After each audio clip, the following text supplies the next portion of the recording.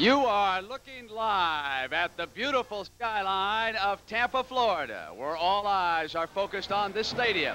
It's the Buccaneers and the Philadelphia Eagles in an NFL playoff game. Hello, everybody. Welcome to Tampa. The weather is beautiful, but isn't it always? We're going to treat Brent, Irv, Jayne, Jack, and the Greek to some good old Southern hospitality, but only if they're cheering for the Buccaneers.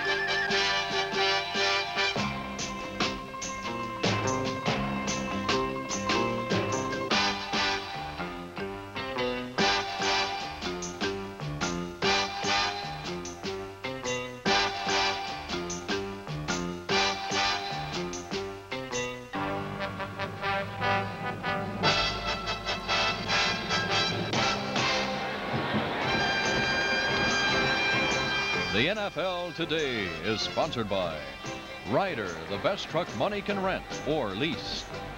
Wang, makers of computer and word processing systems. Wang, making the world more productive. And by Trinitron with a one gun, one lens system. And it's from Sony, the one and only. From the CBS Sports Control in Tampa, Florida, here's Brent Musburger.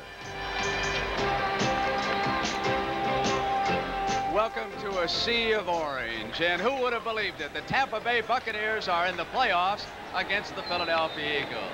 So we're down to eight teams. And Jayne and Irv and Jimmy, would you believe only four states still represented in the playoffs? Pennsylvania, Florida, Texas, and California. Each of those four states with two teams. And Jimmy, later today out in San Diego, it's Houston against the Chargers. What about the Oilers' injury situation at this moment? Grant, they tell me that the Bull Pastorini will not play. Campbell will be undecided until absolutely at game time when he will practice to see if he can make it. Burrows is playing at 90% and Carpenter is out too. In other words, Houston's in rough shape. So Gifford Nielsen will be starting at quarterback for Houston. Jayne, do you remember the playoffs a year ago? Oh, boy, do I. My very first playoffs with CBS, Atlanta, Philadelphia, Atlanta, Dallas, Minnesota, LA. I can't forget any of that. Everyone thought the games would be close. But as it turned out, only one winner didn't score more than 30 points. Let's go back and show you. It was at Three Rivers Stadium in Pittsburgh, and it was going to be the tough Steelers against the defensive-minded Denver Broncos. And what a day for number 32. Franco Harris of the Steelers rushed for a pair of first-half touchdowns, and Pittsburgh built a slim 19-10 lead after the first 30 minutes of play. This was to set the tone throughout the playoffs number 32 on the ground, and number 88 and 82 in the air. This tight game was busted wide open when that number 88, a ballet wide receiver by the name of Lynn Swann, caught one of two Terry Bradshaw touchdown passes in the final quarter. And here he comes, going to the air and making it look routine. 105 yards rushing by Franco. Touchdown catches by Lynn and number 82, John Stallworth. All added up to a lopsided 33 to 10 victory as Pittsburgh advanced to its fourth AFC championship game in five years. Then the next day, it was the rookie sensation who will not play today, Earl Campbell. He rushed for 118 yards as Houston destroyed the New England Patriots in Foxborough. It was to be Chuck Fairbanks' last day as coach of the Patriots. And Dan Pastorini, who will be missing later this afternoon, threw three touchdown passes against New England, two of which went to his underrated tight end, Mike Barber, number 86. And the Oilers rolled to a 31-14 triumph over New England. Pittsburgh and Houston emerged. Then it was the wily Fran Tarkenton in the NFC. His last game with Minnesota, he hit Ahmad Rashad, deadlocked the score against the Los Angeles Rams at 10. But a 100-yard day by number 32, Cullen Bryant, highlighted a 24-point Rams second half, and L.A. broke a four-game losing streak in postseason play against the Vikes, winning easily 34 to 10. Now, the only playoff game that wasn't a blowout was Atlanta-Dallas in Dallas. Atlanta held a 20 to 13 halftime lead as Robert Pennywell put Roger Staubach out of the game with seconds remaining in the first half. But fortunately for Tom Landry and the Cowboys, Danny White can step in and replace Roger. He guided the Cowboys to a come-from-behind 27-20 victory over the upstart Falcons. And Dallas's victory marked the ninth time that Tom Landry's Cowboys had advanced to the NFC Championship game. And so now it is Tampa Bay and Philadelphia. Tampa Bay coached by John McKay. Six of his USC Trojans are on this team. Dick Vermeil, formerly at UCLA, four of his Bruins. What about the home field advantage? We ask Vermeil first. Well, I think it's always an advantage for the home team to play at home, but I have never coached that it's a disadvantage for my team to play on the road because I don't want to give them a, uh, a pre-excuse uh, for losing. Uh, we have to find more reasons for winning, and we try to turn the fact that we're playing on the road in our favor. You know, we try to do that, and we've won more games on the road this year than we have at home. If it's hot like it is uh, today, uh, teams have come in here and got awfully tired in the second half. Uh, I would say under Dick Vermeil, they work so long, uh, practice sessions, that they're probably in great shape, but we'd be much rather be playing here than playing in Philadelphia. I think the biggest area of improvement is their overall offensive line play and their offensive uh, execution of everything they're doing. Uh, uh, they do uh, things uh, much better. They have better football players. And, and Eckwood has made a real contribution. The receivers are, good. The tight end, to me, is as good as any tight end in football. Well, their biggest areas of improvement for Philadelphia, without question, are all, all phases of football. They're a much better running team since they've got Montgomery with Jaworski and, and, and Carmichael. They got a great passing attack. They've got a very veteran offensive line that, that helps Carmichael and uh, Jaworski. Uh, their kicking game uh, with this youngster with the bare foot uh, gives them a great kicking game. So in everything that you grade a team on, in that area, they're very good. Well, I see it as a low-scoring football game. We're both good defensive football teams, so they have uh, statistically been better than us defensively. We have scored 60, I think, three more points than they have. But our offensive stats are identical. 315.3 yards and 314.7 yards per game. They're identical. Uh, I see it as a low-scoring game, unless uh, one team or the other turns it over in bad field position. Uh, if it's a high-scoring game, then the Eagles are in trouble. And, and John probably feels the same way, really, because uh, we're not a high-scoring football team. Well, as, as, I said before, I predicted low scoring, but I'll take a high scoring game. If it was 50-51 and we got to 51, I'd take it. Our defensive coaches would be very upset, but I'd be very happy. And conditioning will be a factor. It is now 70 degrees here in Tampa, so the fourth quarter could be very grueling for both these clubs. You know, Brent, I came in on Thursday into Tampa Bay, and all I heard about is why is Irv wearing a Philadelphia Eagles cap? And they insisted that you wear this one today, Irv. Wait a minute. They'll never let you back in oh, Philadelphia. everybody in Philadelphia realize I'm only doing this because I'm a good sport. Oh, I want you to know that. And the NFL today will continue on CBS in just a moment.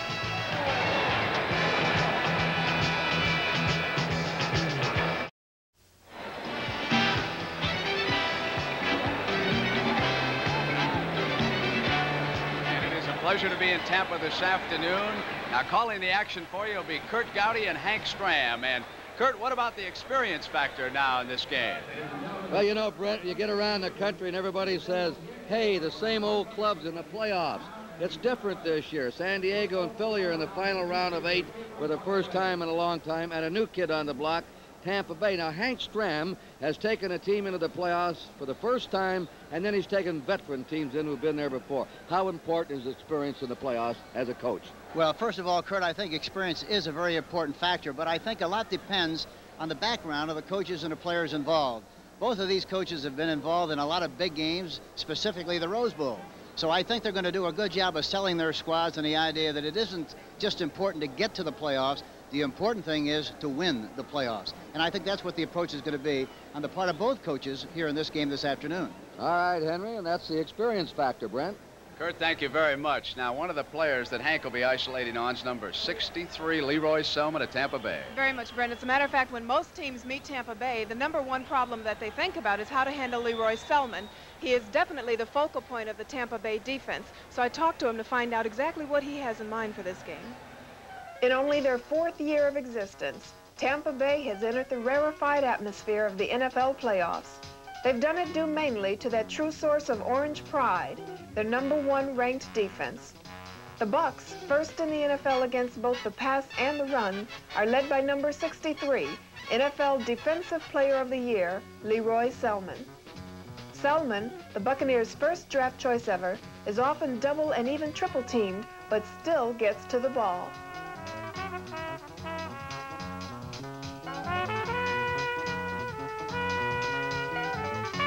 But as awesome as the super quick defensive end is on the field, he is surprisingly placid off it. I like to leave football I out on the football field. I like to play aggressive football and be tough out there. But after the game is over, I like to just kind of go back and relax and, and be a, a regular person and not walk around on the streets beating up people. Are you really shy? yeah, I, I think I am. Uh, people have told me that I have a shy personality, and uh, I guess that kind of comes from home, being raised on a farm and everything. You never was around a lot of people all the time, and um, but I'm kind of coming out of it a little bit. Does it help you having a brother playing on the same team?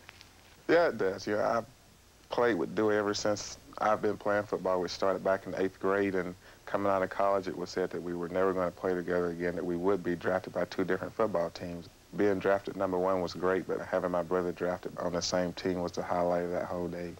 Leroy, I have seen some extraordinary footage of you being double and triple teamed and still making the tackle. Are you aware of that when it's happening?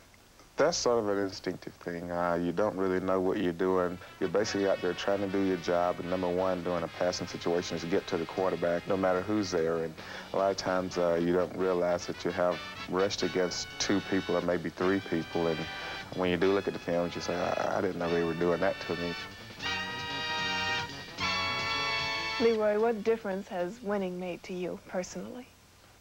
Well, you feel a lot more gratified, I guess, uh, because when you win, you are succeeding, and the hard work that you put out on the football field is paying off for you, and the whole atmosphere is different. It's a lot more loose, not a lot more relaxed, and you have a lot more fun.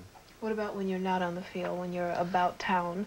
Does well, it make a difference? well, you can go into some nice restaurants. You know, when you're losing, I always went to McDonald's through the drive-in windows, but uh, after you win, you know, people, uh, you can go out and, you know, people like to talk about football, and it's fun to talk about that. You can talk about winning instead of talking about losing, and you know, that, that makes all the difference in the world.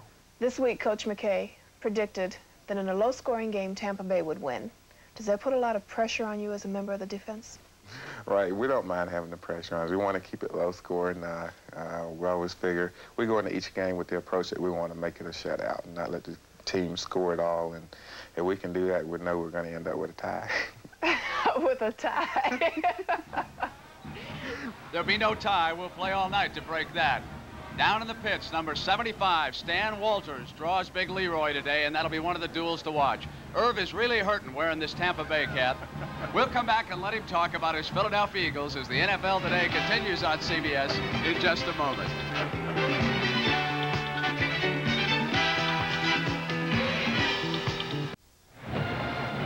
Back live in Tampa, about 12 minutes from kickoff. And you know, when Dick Vermeil took over the Eagles four years ago, Irv, he really did not have a lot of draft choices. He had to go out and pick up some veterans. Now, he's very fortunate, Ben, you know, because he's looking for his type player. And fortunately, this week I talked to three of the people who were an integral part of the Eagles' success story, some old veterans who know what it means to win. For three Eagle veterans, Philadelphia's 1979 success has been a welcome turn of events. Defensive end Claude Humphrey, cornerback Bobby Howard, and offensive guard Woody Peoples each shared a past filled with good times and bad. Number 69, Woody Peoples, had an outstanding career while helping to make John Brodie the NFL's most protected passer during the late 60s and early 70s. Bobby Howard had played for both the New England Patriots and the San Diego Chargers, collecting his share of interceptions and glory. For 11 years, Claude Humphrey was an all-pro defensive end and one of football's premier pass rushers. All three, however, were thought to be at the end of their productive years. But in Philadelphia, each has written a positive chapter in the final pages of their NFL careers. All the years that I spent in Atlanta, they were great years for me personally as an individual, but uh, I still didn't realize a chance to play in the playoffs and, and, and get that playoff feeling. It's something about the playoffs is a little different from playing in the Pro Bowl or something like that. It's a little different because there are only a few teams that'll get in the playoffs. The Eagles hold a special place in my heart uh, in that uh, before I came here, I thought I was at the end of my career. And uh, I got a chance to play with the Eagles.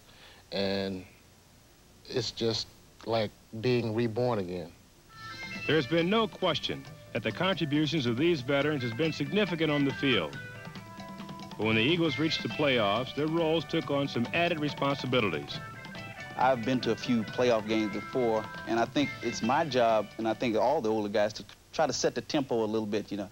In big pressure games like a playoff game, they're going to be, the motion is going to be, there's going to be ebb and flow.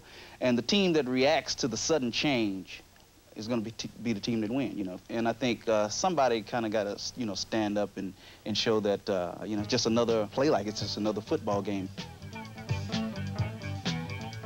For Claude Humphrey, who had come out of retirement, the 1979 season has offered a second chance at something he has always wanted but never had.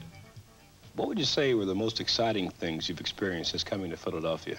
Winning winning. I just it's the, that's the only thing. That's that, that's the only difference between Philadelphia and Atlanta is winning, winning the game. This, oh, it's all right to get paid. I mean, you know, getting paid is important, but there's something good about winning that makes you feel better when you win. And I, the most important thing right now is just winning. This year is probably the high point in my career. You know, I've been to the Pro Bowl a couple times. Uh, when I was the 49ers, we were in the playoffs a few years. But I think this team, being here on this team at this particular time, is the high point in my career. I think we got a real, real good chance of going all the way. Uh, you know, the team, some of the, the tough teams like Dallas, uh, Dallas is not the same team that it was maybe a year, last year or the year before. Uh, Los Angeles has certainly been hurt this year. So I think uh, over here in the NFC, we got a real good chance, the Eagles, of going all the way to the Super Bowl. May the best team win. you know, this is a new site for us, Tampa, a beautiful area. Jack Whitaker is here, and he has some reflections on this city by the bay. Jack? Thank you very much, Brent. There's a temptation here today to dwell on the background of this game and forget the game itself, but I think it's much too early for that. By the time we get to the Super Bowl, we'll submerge that one so much to make it almost invisible. But not today. The game is the thing. But before Philadelphia and Tampa begin hostilities, I'd like a word about the two coaches. They have brought their clubs to this game by different roads. One by rebuilding, the other, if you will, by creating. Dick Vermeil has taken an old and established franchise that was slipping quietly into ruin and in a few short years had built it into one of the most respected outfits in the whole league. John McKay, on the other hand, has taken a brand new franchise and in four years has a team, by his own admission, that when it plays up to its potential can beat any team in the league. Both these men's accomplishments should be textbooks for anybody who wants to take their team into the playoffs. Their contrast between these two coaches, one is very young, hyperkinetic, very intense, with more than a vestige of Vince Lombardi about him. John McKay is 13 years older, white-haired, smart, witty, probably the most realistic coach in the entire NFL. John McKay is the only professional coach ever to survive a 26-game losing streak. The only coach to go from nothing in four years to a playoff. And in the process, the Tampa Bay Bucks have solidified the towns that fringe on the edge of Tampa Bay and the Gulf of Mexico. And these communities now share something else than just a drive to the airport. Still in all, John McKay has his critics here in this sunshine place. Many people think he should have drafted Earl Campbell and Tony Dorsett and other things. But John keeps going on his way. An elegant Groucho Marx, twirling his Tampa-made cigar and firing one-liners, many of them over the heads of his audience. And he and Dick Vermeil are proving that the difference between a successful college coach and a professional coach is not much. Both must be great recruiters. Today is a big day for Tampa, and a big day for Philadelphia. But neither team would be here without Dick Vermeil and John McKay.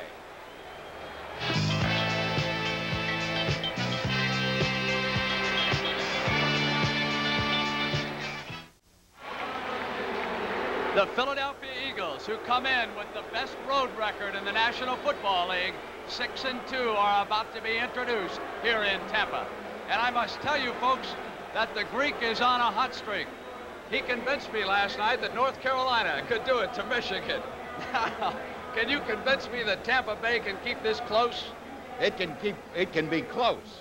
I didn't say who was going to win as yet, but Tampa's defensive secondary can keep it close. Williams, of course, does not have the experience that Jaworski has, but he will throw long to Hagan, and they could score that way. If you remember last week, the Bear receivers were in back of Philadelphia, so watch that. That check looks like about the size of a field goal. Would that Yeah, be how to that's sum about it it. for you? But the special teams for Philadelphia are tops, and Tampa special teams are very poor this year. That's where the big edge is, Brent. But Williams has been so poor the last month.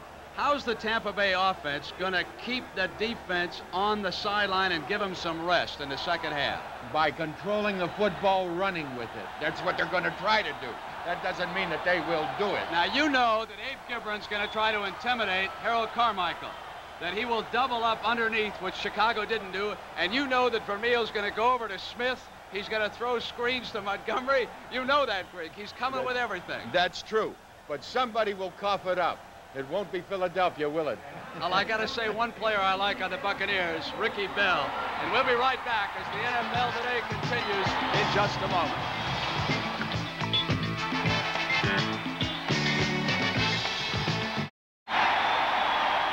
An ocean of orange. The home field advantage for the Tampa Bay Buccaneers. Jayne, we've got just a few moments now before kickoff. Who do you like in this game? Well, you know, everybody said that the defense is what got Tampa Bay here, but the offense has vastly improved. In 77, there were 48 quarterback sacks, in 78, 60, and this year only 12. I don't have to ask you, Irv. You We'll see you at halftime.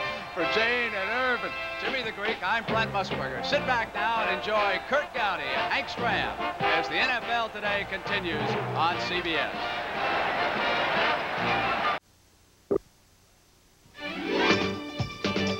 From Tampa, Florida, an NFC playoff game.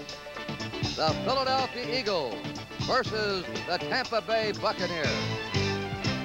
Hi, everybody. Curt Gowdy with Hank Stram. The Eagles and the Buccaneers finished the season in different momentum. The Eagles, playing their best ball, have now won six of their last seven. Tampa Bay just clinging on, beating Kansas City 3-0 in the driving rain to win their division and earn the right to be the host team here today. What about a single game judgment? One day, one game of the Eagles in Tampa Bay. First of all, Hank, they almost look alike. Well, you know, it's really like playing an inter-squad game or seeing an inter-squad game here this afternoon because both teams really have the same personality, both offensively and defensively. They both employ the 3-4 defense, and they both use the I formation a great deal on offense, plus the usual formation that uh, most people see in professional football, but they're very, very much alike. And both of them like to run the football a great deal, and that's what we'll see a lot of, especially, I think, early in the game. Doug Williams is the youngest quarterback, could be, if they win today, to ever take a club to uh, a championship game. How will this game affect him? Well, that's going to be interesting to see. I, I think that uh, there's no question about the fact that the Philadelphia Eagles have the advantage at the quarterback position because of the experience factor. It, it has to be a factor, and it is, but we'll uh, have to wait and see what Doug Williams does here this afternoon in this pressure situation. All right, Hank, and right now, let's go down on the field. We're getting ready for the coin toss. Tampa Bay has the near bench, and across the field will be the Philadelphia Eagles. And now out they come, the captains. They'll be meeting with all the officials. The referee today will be Fred Silva, the umpire Ralph Morcroft, the head linesman Burl Toler, the line judge Jack Fette, the back judge Ben Tompkins. Let's listen.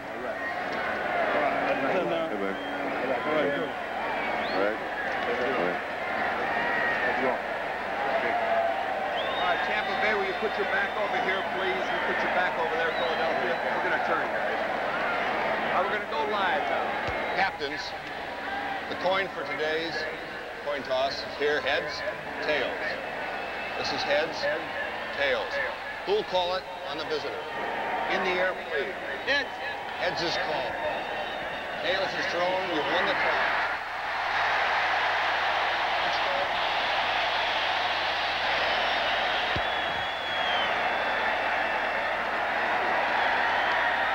Tampa Bay won the toss. They want the ball. The wind is no factor. It's almost a perfect day for football. Temperature in the low 70s, no breeze, and uh, as they go out there, Hank, kicking off, receiving. What about it? Well, you know, one thing about uh, winning a toss, I think sometimes going into a game like this one, uh, you hope maybe that you would lose the toss, very honestly, so that you wouldn't have to play offense on the very first series because if something bad happens to you, you know, you, you shrink the size of the field for the opposition and they have an opportunity to get points early in the football game. However, if you win the toss, you almost have to take the ball because, uh, you know, if you don't, your, your team feels, well, you don't have a lot of confidence in the fact that we can move the ball offensively. But down deep, I think in this kind of a game, you'd rather play defense early than offense. Tony Franklin will kick off. Very strongly. He can drive it deep. Isaac Hagins, the fastest player on the Tampa Bay squad's at the goal line. It's going to be interesting to see uh, Doug Williams. We were talking to him, the young quarterback at Tampa Bay. I asked him if he'd be nervous, and he said only on the first snap. I hope I don't fumble that one. Well, I think the other thing that's good for uh, Doug Williams is the fact that John McKay calls the plays from the sideline. That takes a lot of pressure off of the young quarterback and makes him a mechanic instead of have to worry about all the things that are involved in uh, playing the quarterback position. The barefooted kicker, Tony Franklin. And here we go, the playoff game is underway. He drives it to Hagins, a yard deep. Hagins is coming out to the 5, to the 10, 15, and is down on the 20. The Eagles are the best special team club in the NFL. They have contained their opponents 18 yards on kickoff return, and they just held Tampa Bay uh, within their own 20. Here's the offensive line now for Tampa Bay. It'll be uh, Dave Reavis at left tackle, Greg Horton at left guard, Steve Wilson at center, Greg Roberts, the rookie at right guard, Darryl Carlton starting in place of the injured Charley Hannah at right tackle. 15 years experience in that front line against 45 to the Eagles.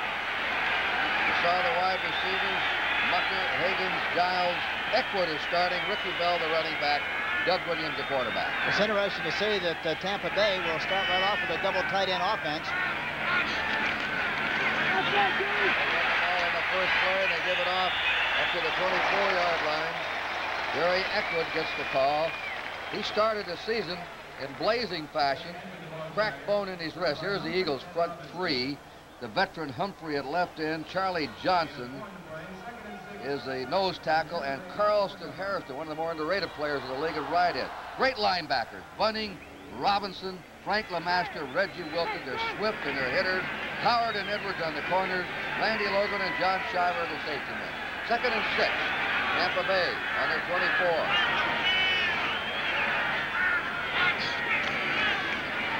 Same play. It's going to be hemmed in.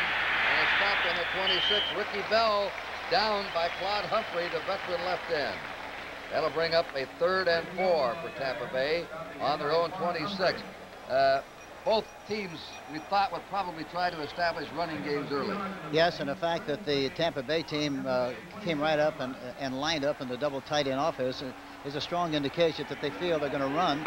And the reason they use a double tight end offense, Curt, is really to get ahead on everybody, seven on seven, and just play football and try to blow them off the football. Third and three. Williams on a rollout, looking, throws, wide open, it's complete to the tight end, Jimmie Giles, for a first down.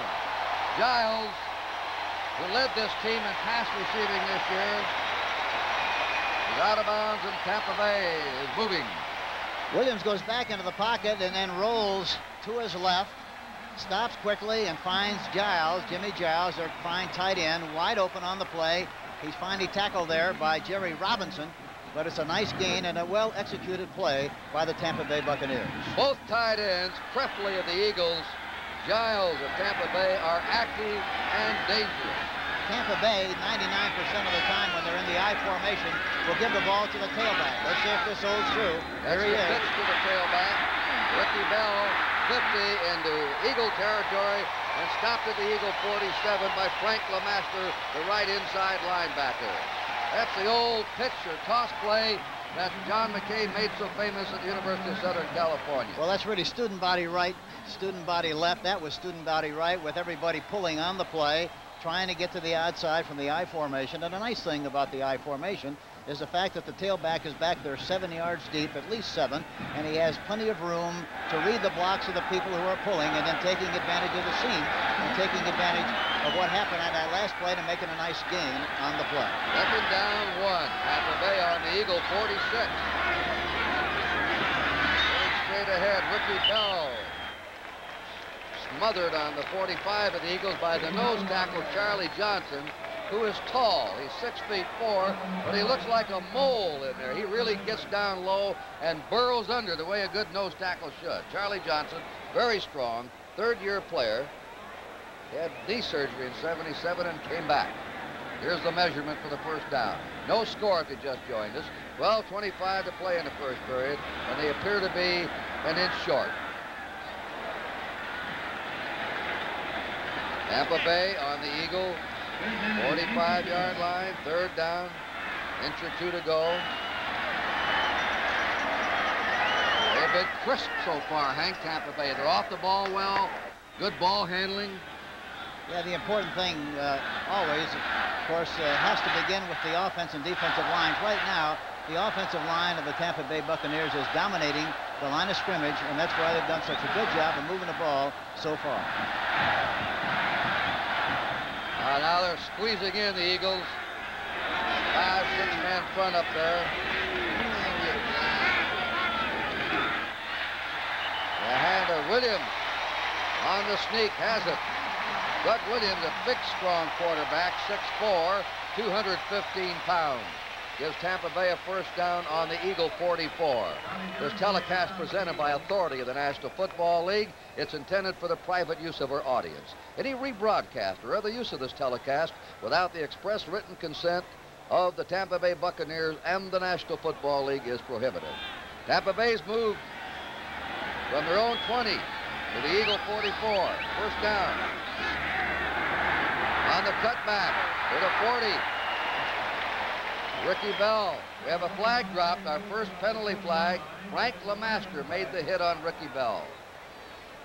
Curt, they're doing a good job, Tampa Bay is, of going away from the rotated defense. They have a flanker set to the left, and it looks like there's a holding penalty against the Tampa Bay Buccaneers, but they're setting a flanker to the left and then running back away from that flanker because of the double coverage on the, that side. Uh, they're running away from the traffic, and they're doing a good job of moving the football, although this time there's a penalty on the play. Let's listen Number to the call. 70, holding. Darryl Carlton, the right tackle, nailed for holding. Today's game is the first time Tampa Bay has been on coast-to-coast television in their four-year history. Games also be carried by CBS Radio and French-Canadian Radio throughout Canada. Tampa Bay on their 46 first down. No score early in the first period. They have a one-back offense. Williams fires a pass, and he completes it inside the 40 to Jimmie Giles again.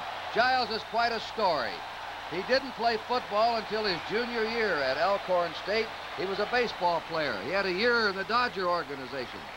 Watch, it's a rollout to the right. Giles is split to the outside. Normally he's a tight end, but this time he's a flanker. Well, Bradovich played tight end that time. Rolls to the right, throws the ball right at the numbers. Giles makes a fine catch, and Giles really is more like a loose tackle than he is a tight end, in, in that he's 6'3", 240, and runs the 40 in 4'6". All right, they're coming up now. Second and four. One back offense. They give it off in the draw. Bell breaks it. Comes over the 35. Stumbles forward to the 31. Carl Hairston. Hairston of Maryland State brought him down. And Tampa Bay has another first down on a beautiful drive here in the opening of this game. Ricky Bell had five 100-yard games this year, all in this stadium. Dick Vermeil, a very emotional coach, intense. John McKay said he's too old to jump up and down. Besides, he has a bad left knee. We'll see if they give it to the tailback again from the I formation. If they run the football, this is what they like to do. Now they give it to the fullback here. Ricky Bell crossing the 30. Frank LeMaster again in on the tackle. Quite a story with me in the booth is the all-pro middle linebacker Bill Bergey spotting uh, Philadelphia, went down with a knee injury. Terry Tautolo took his place, and then the rookie Jerry Robinson moved in, and Robinson has started the last five games and has been all over the field, sideline to sideline, which is going to present uh, an interesting situation next year because Bergey will be back, and where's Robinson going to be? Wilson will be there somewhere. Second down, five to go. Tampa Bay on the Eagle 26.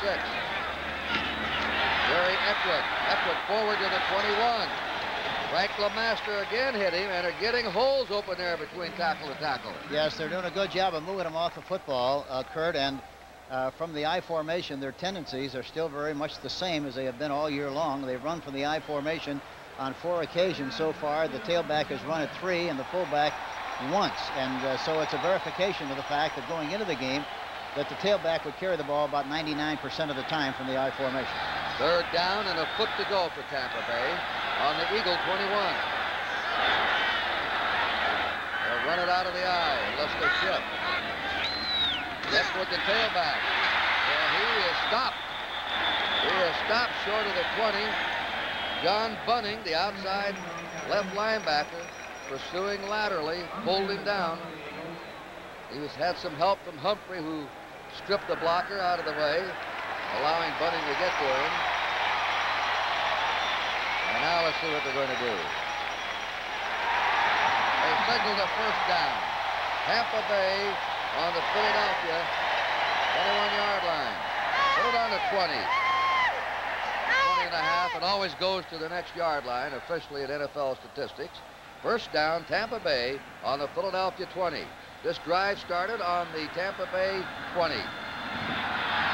Well, it's a 60-yard drive.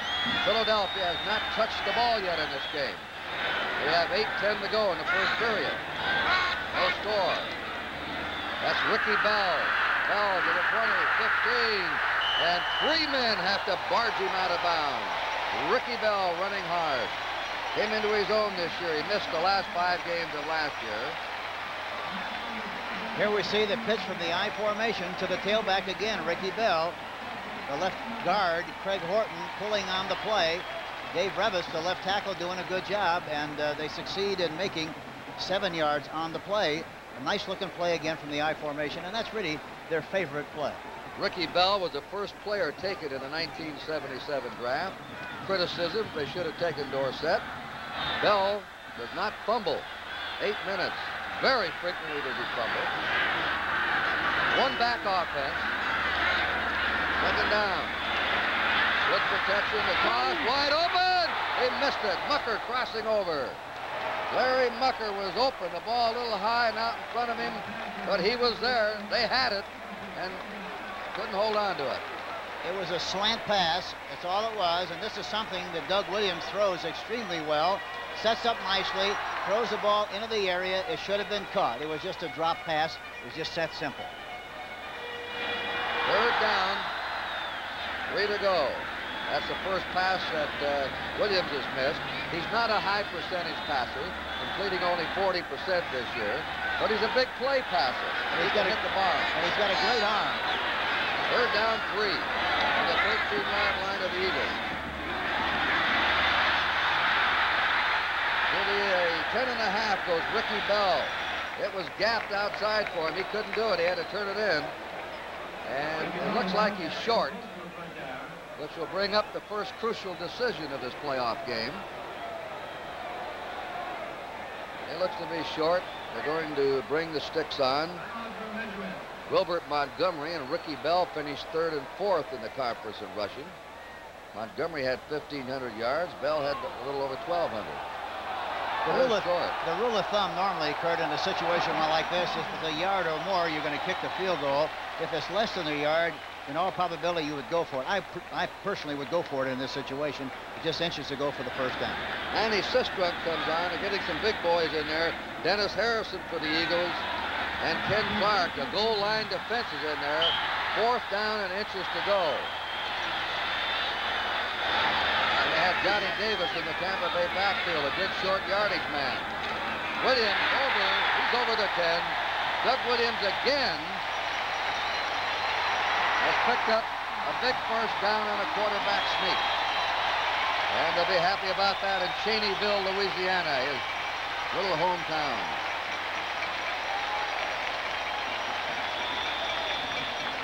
This drive is almost a uh, coach's dream. 1, 2, 3, 4, 5, 6, 7, 8, 9, 10, 11, 12, 13, 14. 15 plays they've used on this drive. Greatest defense in the world. First down. Goal to go. Just inside the Eagle 10. That's Ricky Bell, and the Eagles stop him on the eight-yard line. Getting to him is John Bunting, the outside linebacker. Coming over was Carl Hairston and then Claude Humphrey. Second down, eight to go. That time Philadelphia did a good job of adjusting on the play and the tendency of what they've been doing so far. They've been rotating to the strong side of the field or to the flanker. That time the cornerback, Bobby Howard, away from the flanker, came up close to the line of scrimmage, anticipating that pitch play, which they've been using so much, and did a good job of stopping the action from the I formation. They have only one wide receiver out. They have two tight ends, Obradovich and Giles. Second down eight. They have a slide hole and then powering inside the five with a four, Ricky Bell, who's a real power running back today. You know, when he runs, you have to be impressed with the, the way he runs as far as balance is concerned. He has good vision, knows where he's going all the time, does not duck his head and run into a pile and hope for the best. He keeps his head up and his eyes open and gets the very most that he possibly can on every play that he runs. Now it's third down. Goal to go. They're on the four-yard line. No score. 5.34 to go, and Tampa Bay's had the ball all the way. There he goes. He's in there. Ricky Bell scores. And what an 80-yard drive by the Tampa Bay Buccaneers, using up the clock, keeping the ball. Had only one mistake, a holding penalty, and they quickly wiped that out. Watch it. Here comes Ricky Bell. Number 61, Greg Roberts, is pulling on the play and does a good job of getting in the way of the defensive people of the Philadelphia Eagles. Ricky Bell makes an inside, outside move and goes in standing up for the touchdown. Tampa Bay goes ahead, six to nothing. Blanchard, the punter, will hold. O'Donoghue, the tallest field goal kicker in the league, 6'6", will boot it. It's up, and it is good. 80-yard drive, 18 plays. The way they wrote it. 5.26 to go in the first period. And the young Tampa Bay Buccaneers spring out into the lead, 7 to nothing.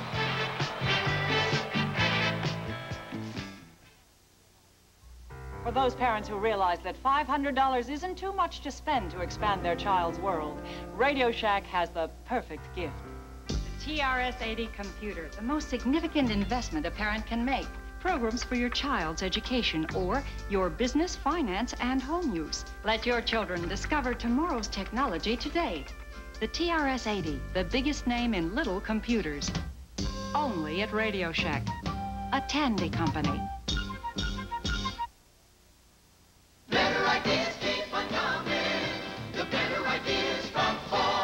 Your Ford deal is celebrating a super season.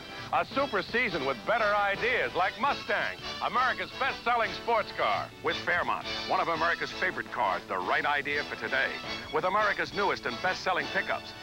And the contemporary new size Thunderbird. It's a great time to visit your Ford dealer right now during super season. Better ideas Whoever gets this kickoff, Hank's going to turn around and say to the, uh, his teammates, gentlemen, this is the football. this is what it looks like. They haven't had it. Yeah, it's been a long time since they've had their hands on it. Nearly 10 minutes gone and they haven't seen it. Here's the kick coming to Wally Henry. Dangerous threat. Up to the 5, to the 10, 15, 20, breaks it through. 25, 30, an excellent run by Wally Henry. He played for Vermeil at UCLA. And so we'll see the Eagles now go to work in offense for the first time in the game. The tackle was by Billy Cesare. The Eagles will have all-pro Stan Walters at left tackle, Wade Key at left guard, Guy Morriss at center, veteran Woody Peoples at right guard, Jerry Sizemore at right tackle, and Keith Krepfle is the tight end. Carmichael, Charlie Smith, the wide men, Jaworski, the quarterback, Montgomery and Leroy Harris, the running back. Eagles ball on their 30 with a first down. Jaworski had a good game last week against the Bears. Three touchdown passes. They move around a lot like Dallas, changing formation before the snap. We're going against a Triple Crown defensive club in the league. Fewest points allowed, fewest yards allowed, and the least yards per play in the league.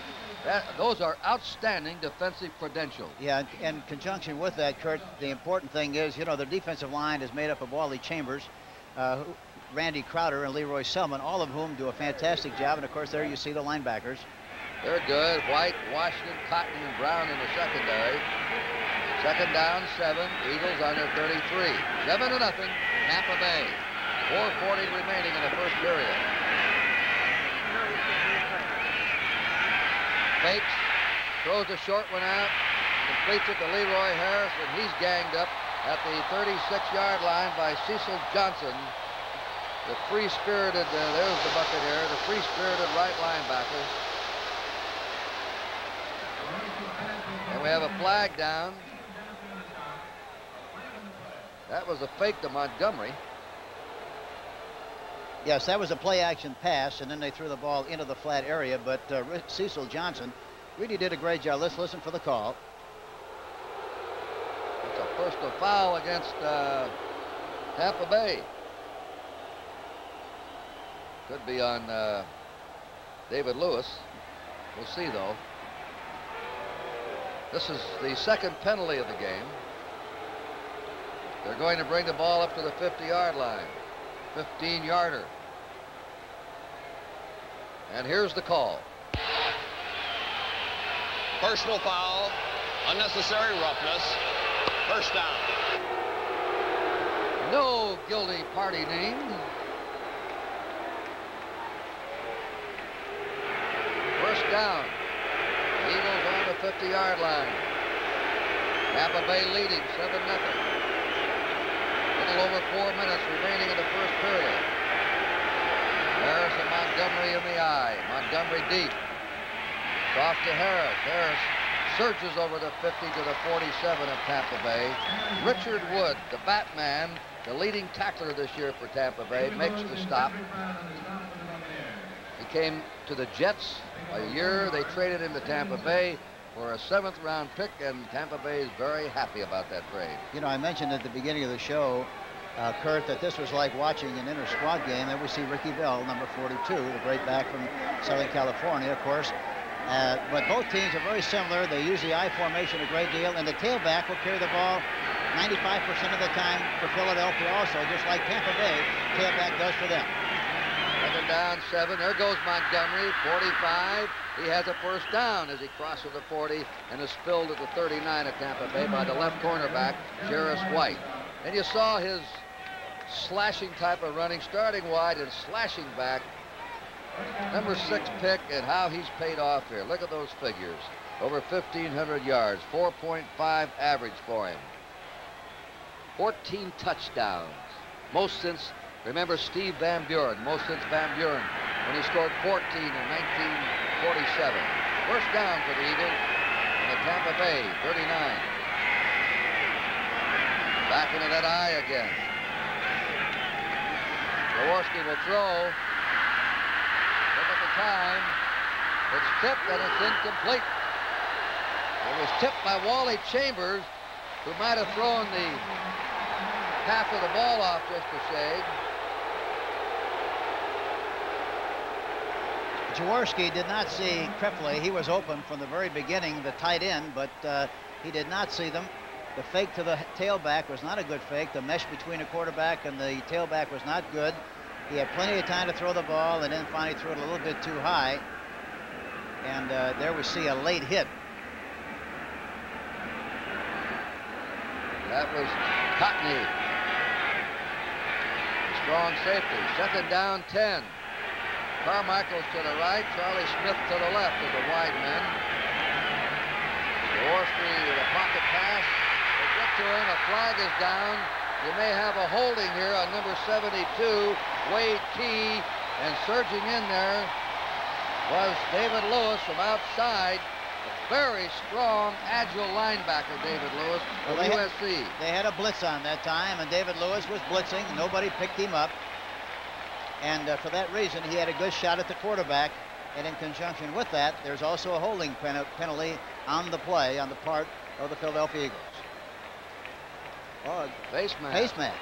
Face mask called against uh, the Eagles. That's probably the holding we saw behind the line of scrimmage. They have declined it. Now, wait a minute now. You may have. See what they're going to do here. Pointed to the Eagles. Campfield has come in replacing Leroy Harris.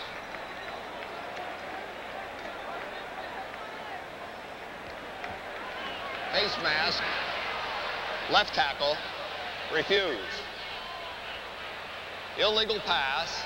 Loss of down. Number 76. Illegal receiver. Accepted. Third down. All right, there. Very rarely see that. They had two penalties on the same play. They refused the first one, accepted the second one, and lost the down on the illegal pass, which is a loss of a down. And the Eagles now have a third down and 20 on Tampa Bay's 49-yard line. A slot left.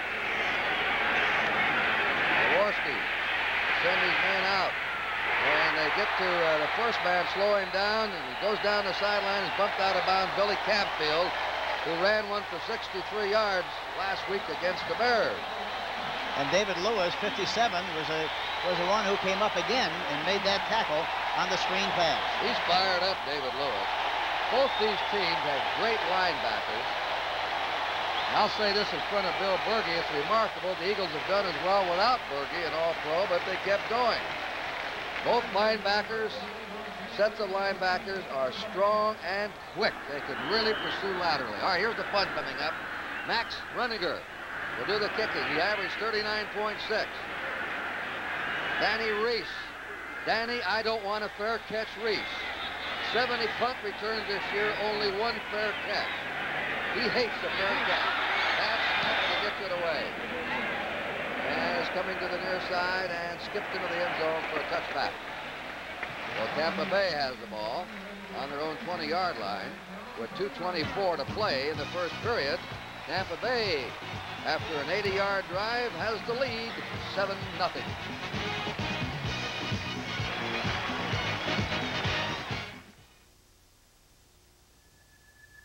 Imagine a computer in a television set.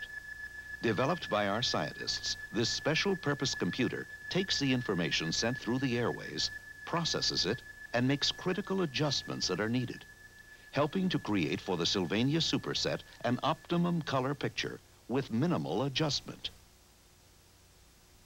G. No, E. GTE. For every part of your life, nationwide. At Nationwide Life Insurance, our agents know that when you're just starting out, you can't afford a lot. Yet you need thorough protection and something more. Life insurance capable of growing as your responsibilities grow to make sure every member of your family will always be properly protected. Nationwide Life Insurance plans for every part of your life. Nationwide is on your side. Coming next, the holiday edition of the CBS Sports Spectacular, the continuing story of an attempt to break the sound barrier. Salute to Kurt Thomas, U.S. Uh, gymnastics team, world ice skating, country classic celebrity bowling. Coming up next, CBS Sports Spectacular. Ricky Bell carried the ball 10 times on that first drive.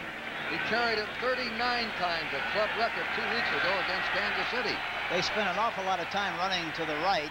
They're in double tight end offense again. And let's see if they start this drive by also running to the right.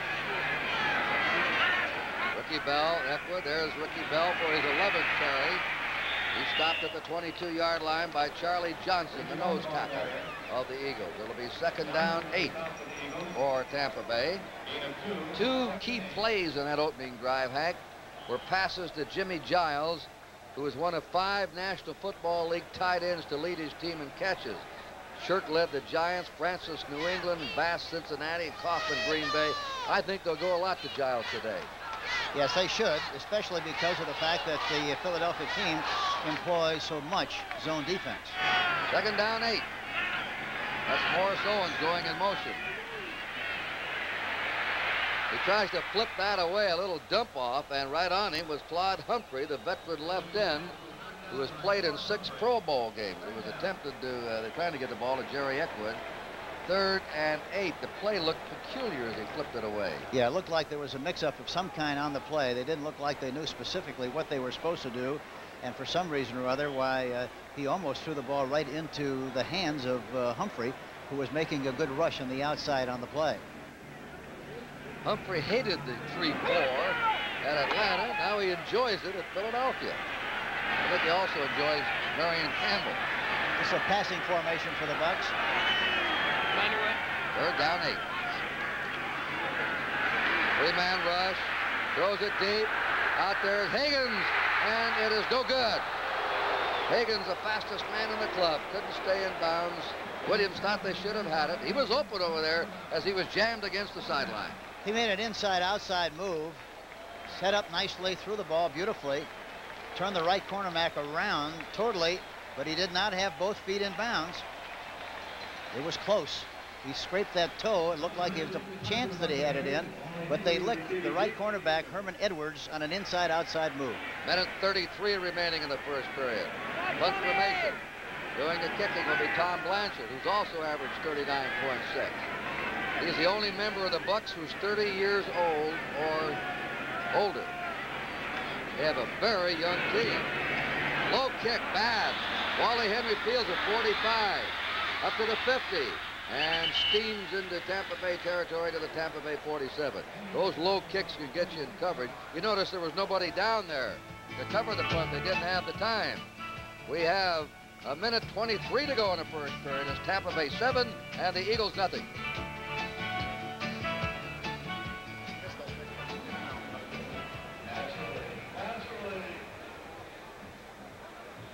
Wait a minute, we have a flag. Let's see what happens. That's Carmichael coming on. So the kick must go or Carmichael wouldn't be in the there. punt, number 51. Illegally downfield. It's refused.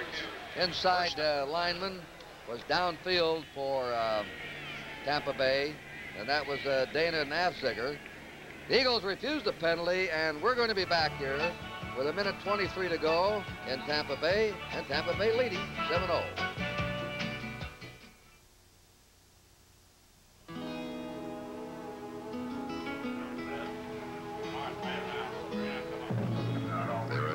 2,000 miles on this river, and you know every twisting, turning one of them.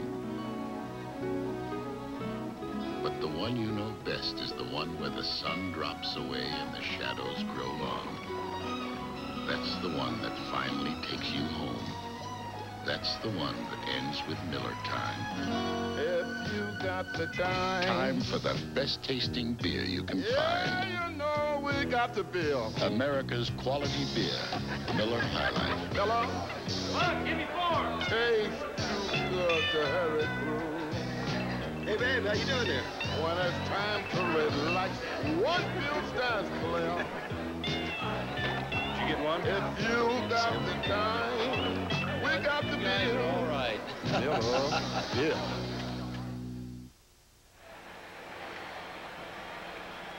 Uh, Curt, the last time they were in this situation, they threw a play-action pass and Krepfle was open, but he didn't see him. Uh, whether they will do that on this situation, or they're not in the same formation, it does look like they will. Well, they're scattered out now. They have a slot left. First down on the Tampa Bay 47. He came to a stop. Montgomery, they contain him. He had a mess up there. Harris started forward before, then wisely stopped and froze. He came to that one second stop, so there's no penalty. The line of scrimmage will still be the 47 of Tampa Bay. It's second down 10 for the Eagles.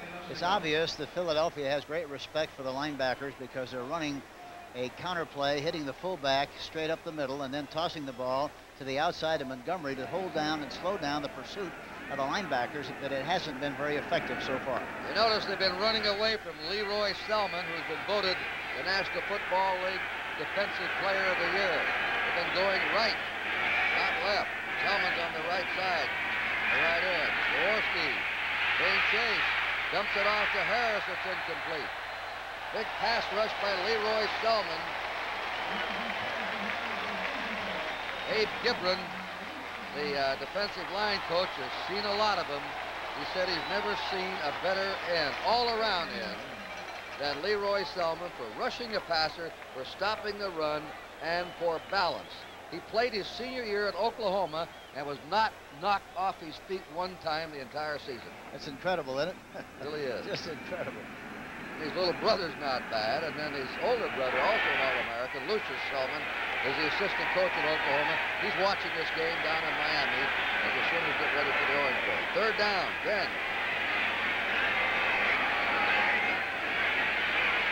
Jaworski looks the field over, guns it out, and threads it to Krepfle, the tight end who has a first down on the 36-yard line. Here is an excellent tight end who led the, all the tight ends in the league in the best average per catch, 18.5. Both Giles and Krepfle, we said, are active and dangerous. They can get deep and block. Yes, especially Giles. Giles is a, is the faster of the two, but uh, Krepfle is a very dependable, steady. He plays 100% every time he plays. He comes into the stadium with 100% effort. He's that kind of a player. There's the gun and the end of the first quarter in Tampa Bay Stadium with the score, the Tampa Bay Buccaneers 7 and the Philadelphia Eagles nothing.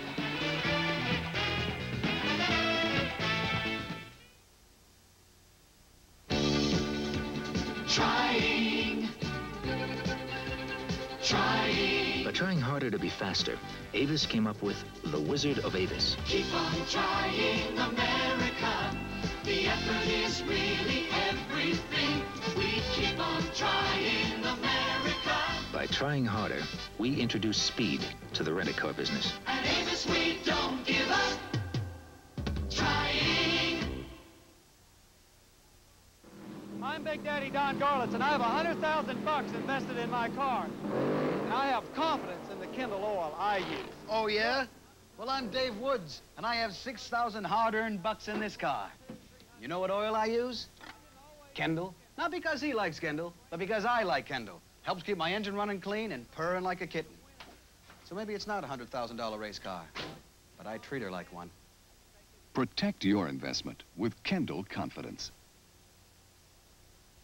Coming next, the holiday edition of the CBS Sports Spectacular features a continuing story of the attempt to break the sound barrier in a land vehicle, plus a salute to Kurt Thomas and the U.S. gymnastics team, and more. You'll say you saw it on CBS Sports.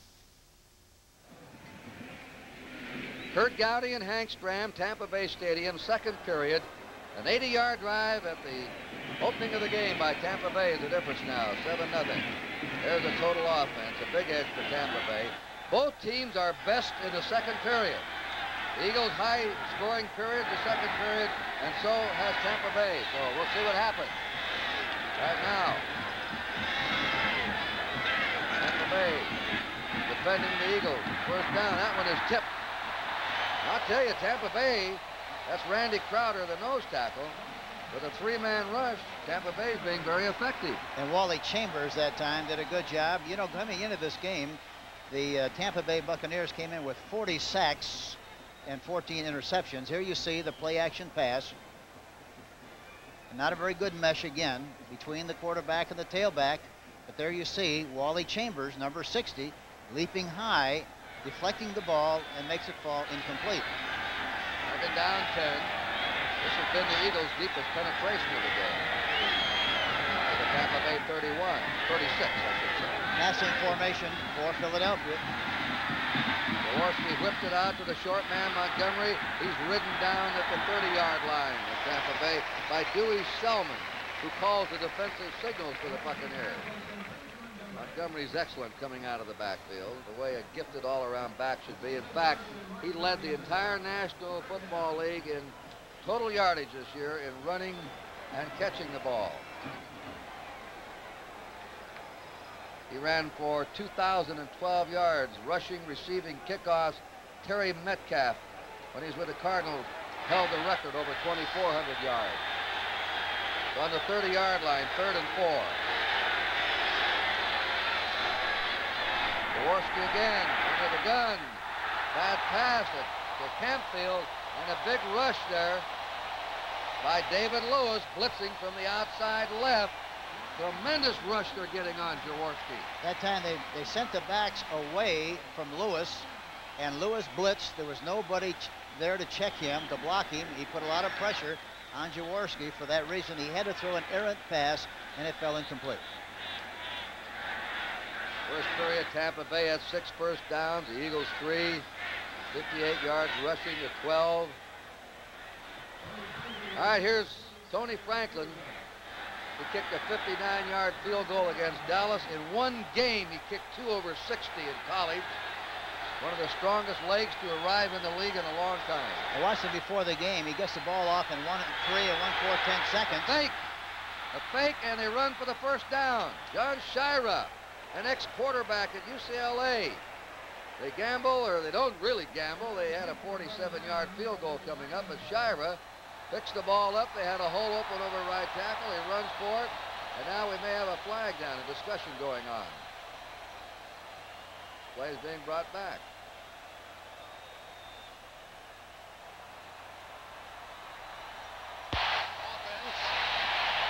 Delay.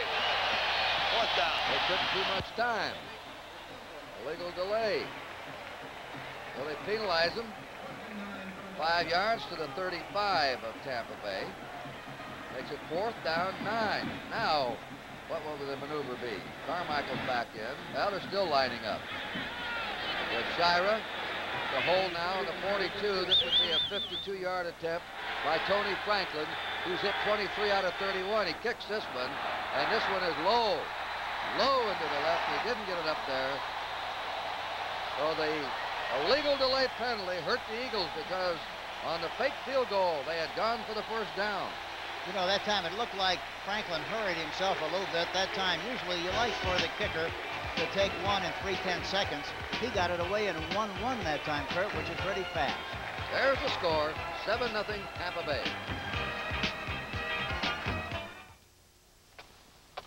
Look what's happened to home heating and air conditioning costs. Up and up. Up over 80% in five years. But there's a way you can fight back in your attic. Add another layer of pink Owens Corning fiberglass insulation. Ask your dealer or contractor how much more you need. Fight back against rising fuel costs. Get Owens Corning fiberglass insulation now. It's cheaper than oil. We'd like you to meet some of the family, the Browns and Eckerts, who each have four Pintos, the Schluters and Kniebels, who each have nine, and the Bowers, who have ten. We'd like to think Pinto's great mileage had something to do with this. After all, Americans have always had a nose for value. That's just 36 of over 2.5 million Ford Pintos sold in the past 10 years. More than any other small car in America. Smile, everyone. Why don't you join the family? Can your secretary go through your files this fast? Can your secretary type your letters this fast? Or send your mail this fast? Now your secretary can with the IBM Office System 6. It's that fast.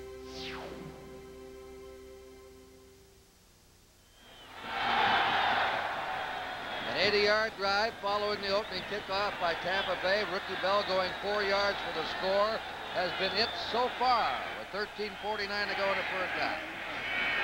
They've been running right a great deal. Time they go left. Trying to get Eckwood outside. He does turn the corner. He picks up uh, six yards, maybe seven. We'll see where they spot him out of bounds. The leading ball carrier in the game has been Ricky Bell with 46 yards. Wilbert Montgomery has been held to seven yards on four carries, which is one of the keys in the game. Herman Edwards made that last tackle, the right cornerback. Put it on the 43-yard line. An eight-yard gain by Eckwood, who now is showing some of his early season form. Yes, and uh, that was the first time they put the ball in play on first and 10 without their double tight end offense. Now they're using their regular flanker split in situation on second down. Second down, two. Tampa Bay 43. Oh, what a hole there at the 50. Still going 45 at the 40. We have a flag drop behind the line of scrimmage, a penalty marker down. Ricky Bell raced for the first down, but this could be wiped out. They had the hole, and then Bell showed you how to go to work in the secondary. Yes, on that play, they like to, to uh, double team the man on the nose and pull the right guard around. That time they did uh, pull Greg Roberts around into the hole. It popped open beautifully, but there's a penalty on the play. I'm sure this is a holding call. Offense, number 50, holding. That's First on down. the center, Steve Wilson. Wilson has a job to do. They're trying to contain Charlie Johnson. Tie him up so Jerry Robinson, a very fleet rookie linebacker, can have the flow of freedom up and down. He was deadly against the Chicago Bears, sideline to sideline. Now that center Wilson is trying to tie up the nose tackle Charlie Johnson. Now it is second down, 12. From Tampa Bay's own 33. Play action pass. He shoots it down the middle. He completes it to the 50, 45 to the 40, 35, and down at the 33-yard line. Larry Mucker, who started the last three games and didn't catch a pass for Tampa Bay. A nice looking play action pass. Sets up nicely in the pocket. Hits Larry Mucker coming across the middle. He picks up, makes the catch, makes a good move to the inside, and is finally tackled there by John Sciarra, number 21. That play covered 34 yards. Dennis Harrison is coming in. Carl Harrison, Dennis Harrison. Harrison goes out. Doug Williams has all day. He can have a cup of coffee and a sandwich back there. He's only sacked 13 times this year, the lowest in the National Football League. The pitch for Ricky Bell. Bell hammers inside the 30. Stopped at the 28 of the Eagles by Dennis Harrison and Claude Humphrey. You know, that play is designed to get outside if you can, but anytime from the I formation that you see any kind of a seam inside, like he saw, you better take advantage of it. This is one thing that Ricky Bell does so well. He takes advantage of what he sees. He did a good job that time and picked up five yards on the play. Eckwood's in, and Ricky Bell came out. Second down, five. 28-yard line of the Eagles. Jerry Eckwood. Power blast off guard, but Charlie Johnson says no, sir. Number 65 jammed it up at the 27-yard line of the Philadelphia Eagles, where it's third down and four. The score, 7-0 Tampa Bay, 11.37 to go in the first half. Defensive football is playoff qualifying football. All the top five defensive teams in the National Conference, four of the top five in the AFC made the playoff. Now they got uh, five men up front, the Eagles. Third down four to the 25, and suddenly spilled Johnny Davis. Get him in there for first downs and down around the goal line. Jerry Eckwood. Jerry Robinson made the hit on him. They've been sealing Robinson off so far. LeMaster has made more tackles than uh, Robinson. On the 23. They look to the sidelines and call for a measurement. Tampa Bay's had the ball the majority of the time. The ball control offense. And they're short. All right, it's fourth down and a foot to go. Twice they've had this situation, and twice Doug Williams has used the quarterback sneak to pick up a vital first down. That's another basic rule of thumb again, Curt. I think anytime that it's very short, you like for the quarterback just to be able to handle the ball himself and run a quarterback sneak, especially if there's any kind of a seam or the linebacker is halfway soft. You're going to run at the linebacker, run to that area. Let's see if he runs another quarterback sneak in this situation. Eckwood and Ricky Bell behind Doug Williams. The Eagles ganged up. He's got a lot of room. Fourth down and a foot. Goes for the first down to the 20-yard line. Ricky Bell has it. And the Tampa Bay Buccaneers are executing on fourth and short. They're executing as far as the offensive line is concerned. Boy, they're really getting off the ball in good shape, and that's why they're able to succeed in making the kind of yardage they have made so far from a running standpoint. The only team of the top 10 defensive teams in the National Football League that didn't make the playoffs were the New England Patriots. All the rest of them are in there, and you know why coaches go for defense. First down, Tampa Bay on Philadelphia's 20. Here's that pitch coming out again. Being contained and a loss this time. Reggie Wilkes, the right linebacker, stood his ground, then crossed the line of scrimmage and nailed Ricky Bell. There's a flag down again. That is a clipping against Tampa Bay.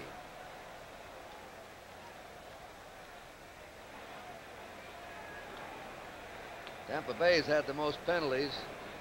Reggie's going to medical school, by the way, a graduate of Georgia Tech.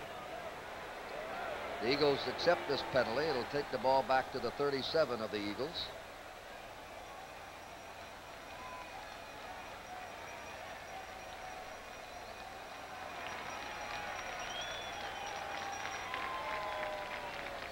This will be the fourth penalty against Tampa Bay. The Eagles have had only two. Number 69, personal foul, clipping. That's on Daryl Austin, a reserve right tackle for clipping.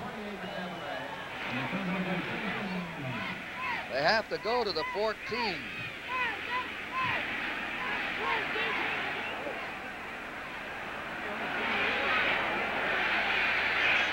First down and long. They have to go to the nines where they have to go. Williams in a deep drop. Wide open at the 20, to the 15. Isaac Hagins. Who says Doug Williams is a low percentage passer? Boy, he is on target today. He's really fire, firing the ball. Watch, they send uh, the flanker Isaac Hagins in motion to the right, which makes it a triple wing formation. A lot of time to throw. He cuts back into the middle area. The ball is thrown perfectly right at the numbers. Hagins does a good job of getting the very most he can out of the play, and it's a good field position situation for the Tampa Bay Buccaneers. You just couldn't play a better first half at quarterback than this young man's doing here, Doug Williams. Only 40% completions, but John McKay says, I don't like those little five-yard passes. Give me the big play. Second down. Two to go for a first down. Ricky Bell in motion. Jerry Eckwood following Bell. Flag is down. And he stopped along the 10-yard line. Another flag has been dropped. Dick Vermeil has no USC players on his team. McKay has no UCLA players in his squad. Vermeil has four ex-UCLA players off his Rose Bowl team, and he beat Woody Hayes in Ohio State. And of course, Johnny McKay has six ex-USC uh, players in his team. This is against Tampa Bay. Time remaining in the first half, 8 minutes 46 seconds. 7 to nothing. Tampa Bay in the lead on an 80-yard drive after the opening kickoff. Offense, number 89, holding.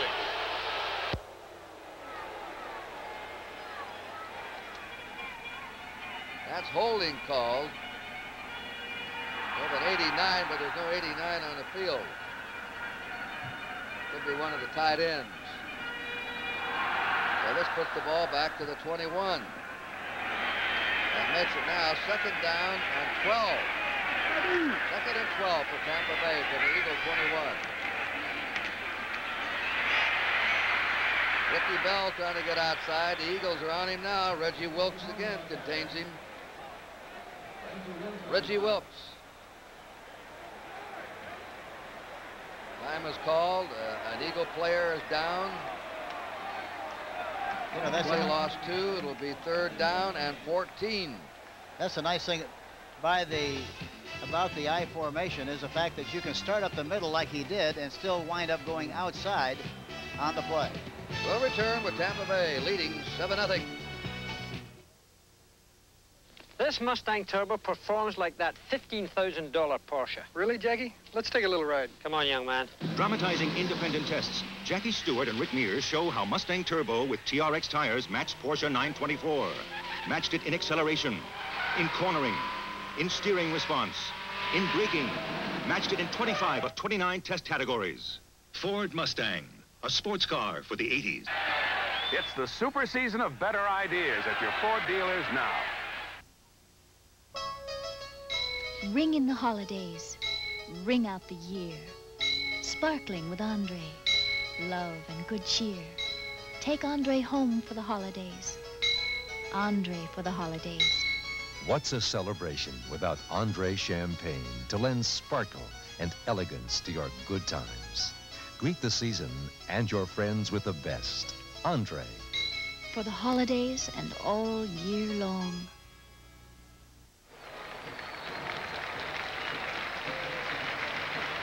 We have a hand uh, going off is Carl Hairston, the defensive right end. Dick Vermeil right out there, concerned about his players always.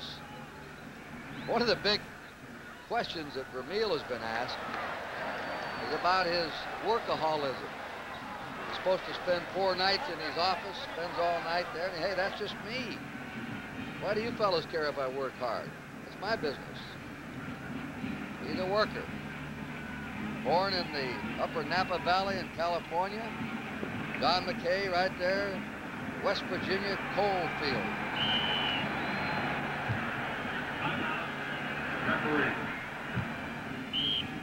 Third down and 14 as we return to play here, sun-drenched Tampa Stadium.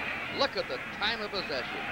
Triple for Tampa Bay. They have really controlled the ball here in the first half, and that's been their best defense. They're ahead 7 nothing. Third down and 12. Williams getting that reception. There it is, and it's a touchdown. There's the tight end. Jimmie Giles catching his third pass of the game. Right on him. Jimmie Giles feeding into the end zone. They had a double zone coverage. So what do they do? They doubled up on the wide men and said Giles right down the middle. Yes, that's an automatic play of the tight end. Look at the time, the protection, but he read it perfectly, got it right over the top to Jimmie Giles, number 88, and it's a touchdown for... Wait a minute now. Somebody dropped a flag down there that we didn't see, and no one else did. We're talking it over. This will be a big break for the Eagles if this is wiped out. Now he says that Giles did not have possession of the ball. One man came up with the arms. He did not have possession and control, so it's an incomplete pass, and they're going to try a 40-yard field goal. Neil O'Donoghue. The kick is up. The kick is good. Well, they still came up with some points. Juggling, not controlled by Jimmie Giles. Let's watch it here. Take a look at it. He's looking John Sciarra on the play.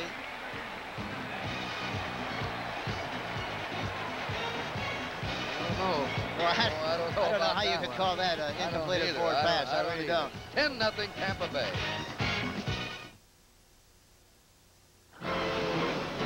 You dance on a river of wood, and the spinning shapes in the cold, dark water are your only bridge home. So you keep on dancing until the last log is in place and you can head for Miller time. Time for the best tasting beer you can find, Miller High Life. When it's time to relax, we've got the beer. Miller beer. If you've got the time, we've got the beer. Thunderbird. Thunderbird. Thunderbird. Spread your wings in the new 1980 Thunderbird. Introducing a Thunderbird of new contemporary size that shows its elegant heritage wherever you look. Outside, inside. Yet it's remarkably priced, and that includes automatic transmission, power steering, power brakes, vinyl roof, and more. The new size Thunderbird, a better idea for the 80s. We'll be there Super Sunday 1980. Be with the NFL team of CBS Sports Sunday, January 20th for Super Bowl 14. You'll say you saw it on CBS Sports. 10 to nothing, Tampa Bay. Neither team is allowed a return off a kick for a touchdown this year. O'Donoghue's boot. Wally Henry on the four, to the 10, to the 15, to the 20. Flag is down. And he's up to the 28. Another flag goes down. And the second quarter is being marred by penalty flags. Tampa Bay has hurt themselves with penalties. They may have, might have a bigger lead here. They've had five penalties for 60 yards. The Eagles have had only two penalties for 15 yards. Looks, one, looks like one penalty is against Ray Phillips, 52, who was who uh, looked like he might have clipped on the play. There's holding, the legal use of the hands against the Eagles on the kickoff return. Well, there's going to be a lot of discussion on that incomplete pass call to Jimmie Giles. We have the advantage of time, and the instant replay looked like a touchdown to us. Yeah, I don't know how in the world, from the way we look at it, how that could not be a touchdown pass. And he runs for two steps before he runs out of the end zone. Holding. Rule is that the player must have the ball. Personal foul. Clipping. In possession and control Accepted. to do the act First down. common to a football game. Uh, he had a couple, three steps running to the back of the end zone with it. But, as we say, we have the advantage of time, later time, and a slow motion rerun. First down, Eagles on their own 10. They have been soundly dominated by Tampa Bay in this first half. 36-yard line of Tampa Bay has been their deepest penetration. That's Montgomery. Ooh, is he racked up by Leroy Selman. It's very easy to understand why this team is number one in all categories defensively. They're first, first in total defense, first against the run, and first against the pass. Boy, that's very impressive. John McKay says, you know, when I feel good, when I watch Lee Roy Selmon on the films, I feel real good that he's on my team. Second down 10 for the Eagles. They have not threatened in the first half. They were a four-point favorite. They're going to have to do something to open up this Tampa Bay defense in the second half or in the latter part of the first half. Have a draw. Montgomery fumbles. A scramble. And Tampa Bay recovers. Randy Crowder's on it there. The recovery, the hit. Montgomery fumbled. He fumbled more than any other back this year in the National Football League. Here's a plain, very simple draw play, but they did not block. Crowder hit him. Randy Crowder was not blocked on the play. The ball is fumbled, and looks like Randy Crowder falls on the ball. No, I think it's Chambers, but Is we'll it? see. They force the first turnover in the game right after they kick the field goal. They're right back again. Tampa Bay has a first down and four to go for a touchdown. A young squad, its first playoff game ever, is playing almost a perfect, inspired first half on both offense and defense. First and goal. Let's see if they run right here. They do. That's Ricky Bell. Bell driving forward to the two, maybe the one and a half yard line. Dennis Harrison tackling. There's Carl Harrison, who's been injured. Nice packs on his right knee. Second down, two to go for a Tampa Bay touchdown. And they have been awesome in this first half. They've had the ball over three times as many minutes as Philadelphia.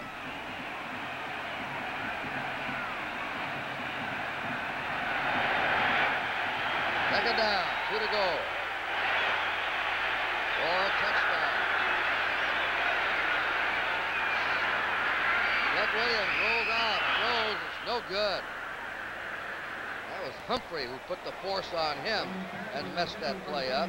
Claude Humphrey, 35-year-old veteran. Didn't fool him any. No, he really read the ball, read the play very well. There was a quick fake to the to the uh, back going inside, roll out to the right, but Humphrey got good penetration and put the squeeze on him and uh, threw him to the turf, third and two. Larry Mucker brings the play in from the bench. They alternate the wide receivers. Eckwood and Ricky Bell will be lined up behind Doug Williams. Third down, two to go for a Tampa Bay touchdown. Eckwood peels off. Ricky Bell stopped. Bell is stopped at the half-yard line by Ken Clarke, the nose tackle from Syracuse. And the crowd, of course, yelling, go, go. Well, they've tried it three times on fourth down and a foot to go and made it. A little bit different down around that goal line. Morris Owens brings the play on. Fourth down, a foot to go for a Tampa Bay touchdown. 5.42 in the first half, remaining 5.40 now, 10 nothing Tampa Bay. There's a big hole on that last play, but Clark really recovered from his block and did a super job of making the tackle.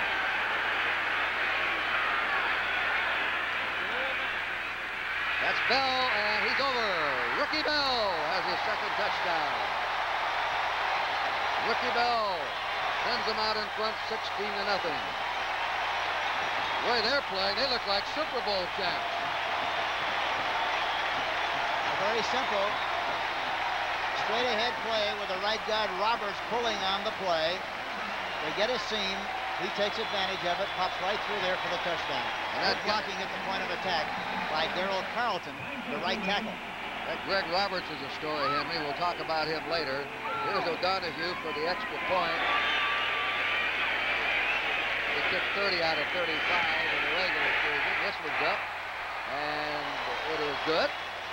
And the young expansion Tampa Bay Buccaneers are leading the favorite Philadelphia Eagles 17 to nothing with 5.24 to play in the first half.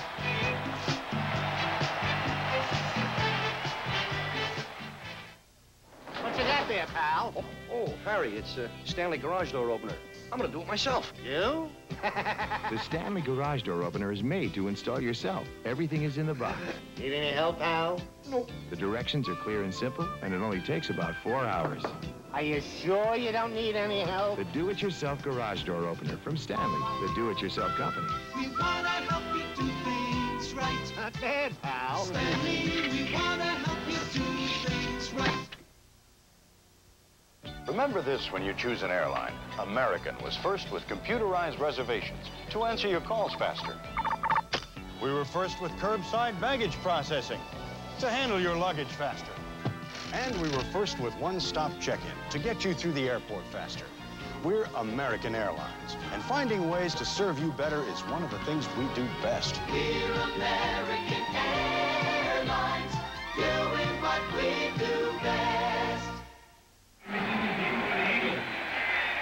After that aroused Tampa Bay defense forced a fumble. Ricky Bell took it over. Tampa Bay leads 17 to nothing. They'll kick off. And the Eagles have to do something now to break matters open. Wally Henry in the goal line. Out to the 10, 15, 20. And up to the 25-yard line of the Eagles. Tomorrow on CBS.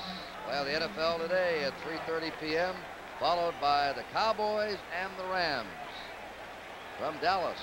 And remember, CBS Sports will provide exclusive coverage of Super Bowl 14 on January 20th. 106,000 banked in the famed Rose Bowl at Pasadena, California. First down. Eagles. What can they do, Henry?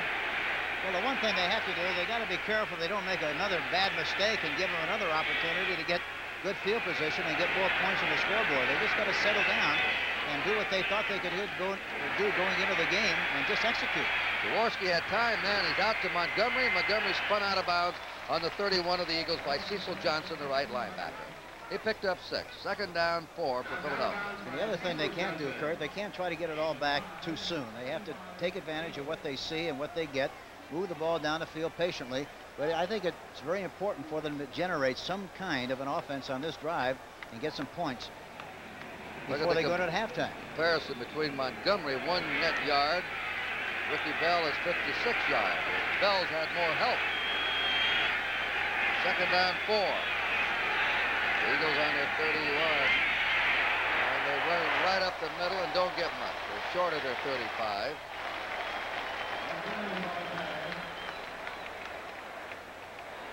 Cecil Johnson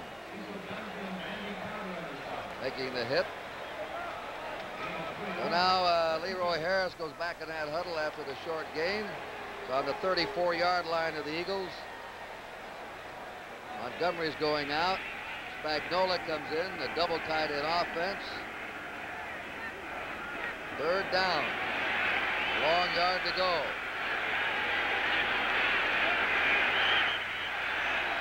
And the Eagles have called time. They're, they're messed up there. They got Larry Barnes in there with Harrison, short yardage situation. Look at that score. 17 to nothing, Tampa Bay, 424 to go in the first half. The more aerodynamic shape a vehicle has, the easier it slips through the air. Announcing the first new truck of the 80s, the new Ford. It's aerodynamically designed so it's more slippery than last year, has less drag, with the best gas mileage rating of any American-built standard pickup. And there's all that Ford-built toughness. Ford's most popular half-ton pickup can carry 293 pounds more payload than a comparable Chevrolet. It's the super season of better ideas at your Ford dealers now. I'm getting a free ride. I'm getting a free ride. You'll get a free ride when you change to Sunoco's new mileage oil, MPG Plus. It gives an average of 14 more miles per tankful than regular oil. And in some cars, 28 more miles. Right. Because MPG Plus reduces friction, your engine does less work, and you get better mileage. Get a free ride with Sunoco's new MPG Plus. I'm getting a free ride. Doesn't she always? Monday at 2.30 Eastern, see the Clemson Tigers and Baylor Bears claw for the crown of the Peach Bowl. You'll say, you saw it on CBS Sports. Curt Gowdy, Hank Stram, Tampa Bay Stadium. The Eagles have the ball. They're trailing 17 to nothing. They're on their own 34 and a half third and a long yard, maybe two, yard and a half. They have Larry Barnes and Leroy Harrison his running backs. Harris in motion. Now Montgomery's back there, slips and falls down, and they won't have any first down. Montgomery's having a tough first half. Look at the stats. Passing, Jaworski, short one, five out of nine. Doug Williams for 94 yards, four out of nine. And he had a touchdown call back that'll be disputed by many. Punt formation. I think you look for anything here from the Eagles, they might even try a fake punt. I don't know. They're, they're going to have to do something. Fourth down, two yards to go. I don't think we'll see anything but a punt here, Curt. Kicks to Danny Reece. Reece on his 17, the 20, 25, up to the 30-yard line. And the tackle by Reggie Wilkes. The Cotton Bowl, Houston versus Nebraska, New Year's Day, 2 p.m. Eastern Time. Houston ranked sixth, Nebraska ranked eighth. Old buddy Lindsey Nelson will be there his 20th year in a row. Telecast the Cotton Bowl game. He and I were both there one day. I was doing the radio, the famous 12th man tackle by Tommy Lewis on Dickie forget. First down, Tampa Bay on their own 20. They're ahead, 17 nothing. They're back to their double tight end offense.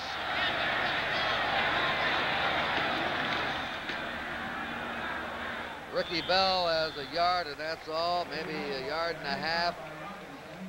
Outside of some penalties, Tampa Bay has not given the ball up, not thrown an interception, not fumbled it. They have just played this man's dream first half. McKay played it the way he wanted them to play. Yes, and he's doing a good job of changing the, the pace and the tempo of the offensive calls. John calls him himself from the sideline and really has done a good job. You and he were at Purdue together, weren't you? Coaching staff? We, no, no, we Played played, together. That's played right, together played at Purdue together. along with Abe Gibron. Outside is Bell, and he's run out of bounds by Frank LeMaster. They, they've stayed on the ground most of the way. Every now and then, they fade back by Williams. He hits a pass, and they've dominated the clock. They're on their own 32-yard line now. They have a third down, eight. Look at that. Total offense. 29 yards for the Eagles. Would you believe that? Tampa Bay for 176. Although you're you're looking at the best defensive statistics in the league here in this Tampa Bay club. Third and eight. 32-yard line of Tampa Bay. They don't go to the air. Flag is down. Ricky Bell drives all the way to the 40. He would appear to have a first down, but there's a penalty marker drop. Worst to first, that's right. Longest losing streak, a joke around the nation. And now they say number one.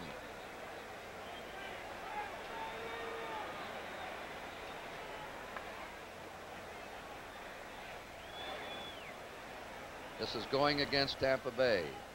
This game marks the old and the new, ladies and gentlemen. Let's listen to this Offense, right end, offside, 88.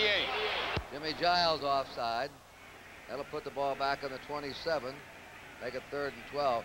Philadelphia began play in the National Football League in 1933, while the Bucks got underway in 1976. The old and the new. Two-minute warning here in Tampa Bay. 17 nothing Buccaneers. I'm a mileage nut. I checked all the figures, and I got a Ford Fairmont. Yeah, four-cylinder mileage is even higher than last year's. And do they have a six-cylinder? With standard four-speed transmission, no six, foreign or domestic, beats Fairmont's estimated MPG. Datsun's four-speed doesn't beat it. Toyota doesn't beat it. Citation, the GMX cars don't beat it. Harold. Aren't you glad you bought a Fairmont? You bet your gas can. The right idea for today. Nancy Hamilton will cross our path eight times today. We're Esmark. We own the companies that supply her peanut butter and turkeys, rubber gloves, and baby nursers, fertilizer, oil filters and motor oil, gasoline. We're Esmark, a big company with a big stake in Nancy Hamilton and in you. Two minutes to go in the first half. Third down and 12. Tampa Bay on their own 27-yard line.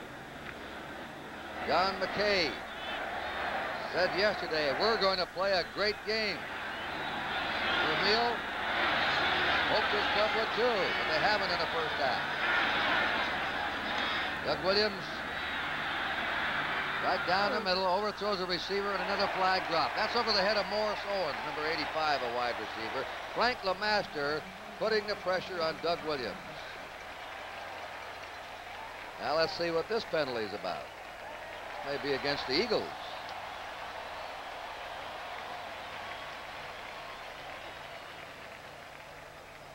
Defense, number 55. Pass interference.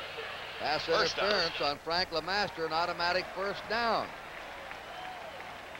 On the drop back, he interfered with the receiver going down. Oh, Owen, so Tampa Bay has the ball on their 35-yard line with a first down and a lead of 17 nothing, less than two minutes to go in the half.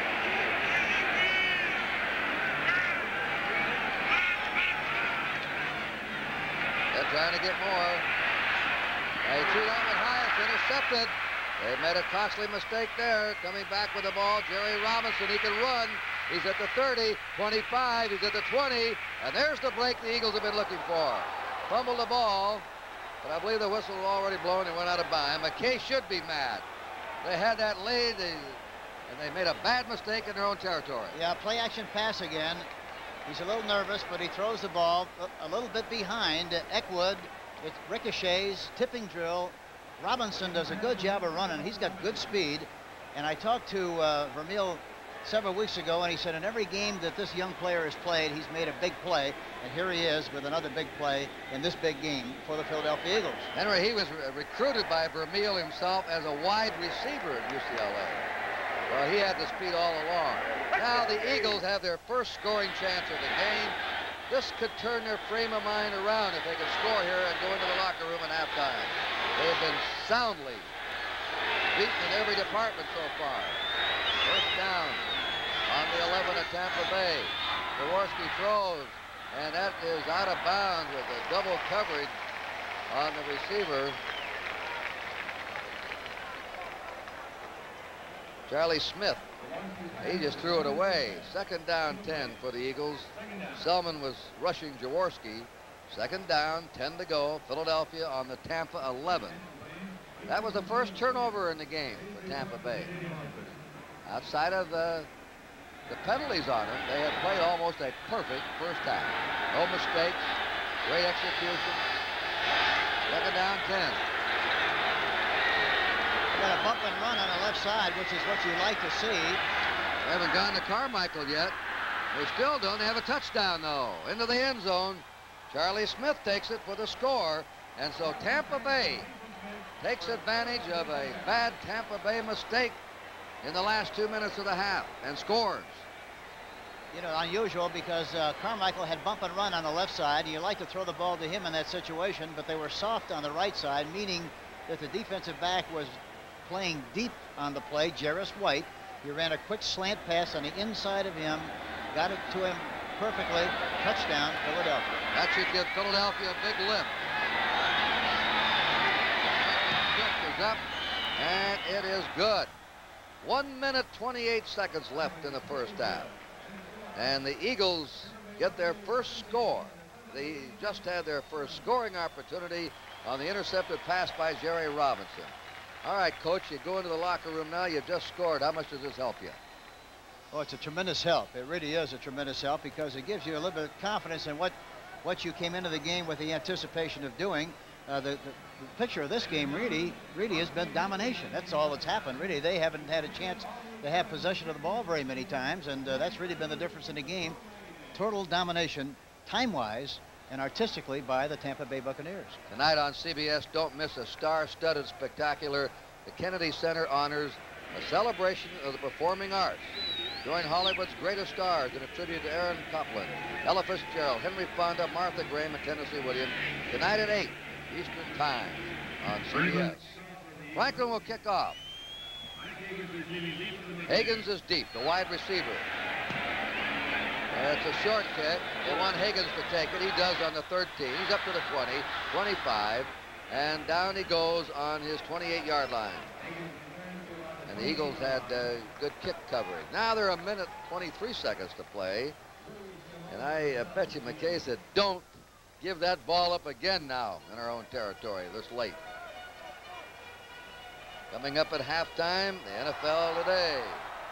Brent, Jayne, Irv, and Jimmy will be with you at halftime. The 27 where they're going to spot it. Tampa Bay's ball.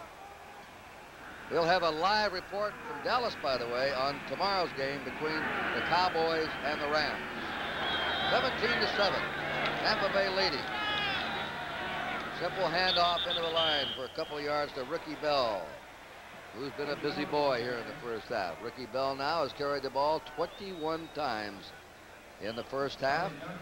He set the club record 39 times against Kansas City, which wasn't very far away from a league record.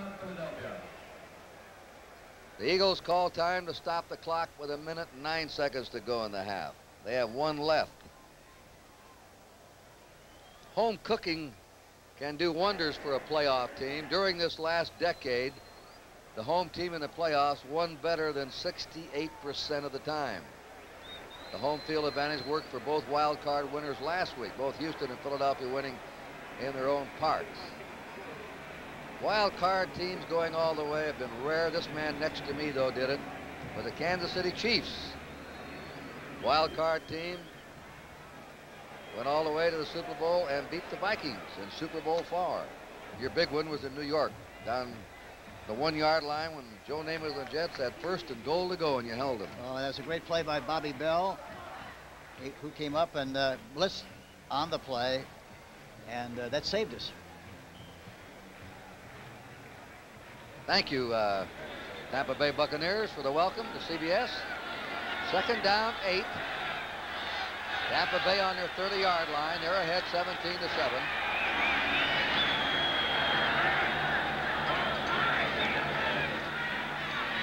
Ricky Bell again, roaring out.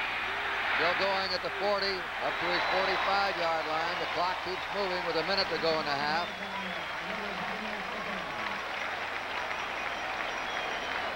Bell has been by far the outstanding runner of this game. Randy Logan, the strong safety, made the hit on him.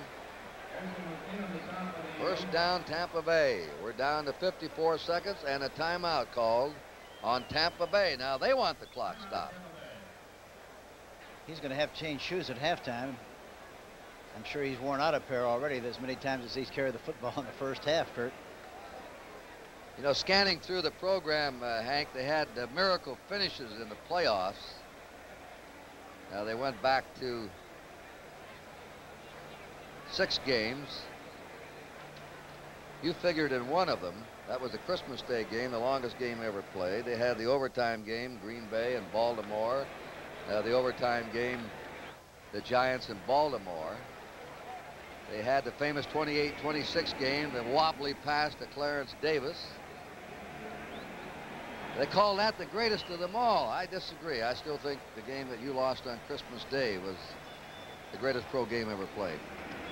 I would agree with you. Had we won the game, I, I would have thought, too, it was the greatest game.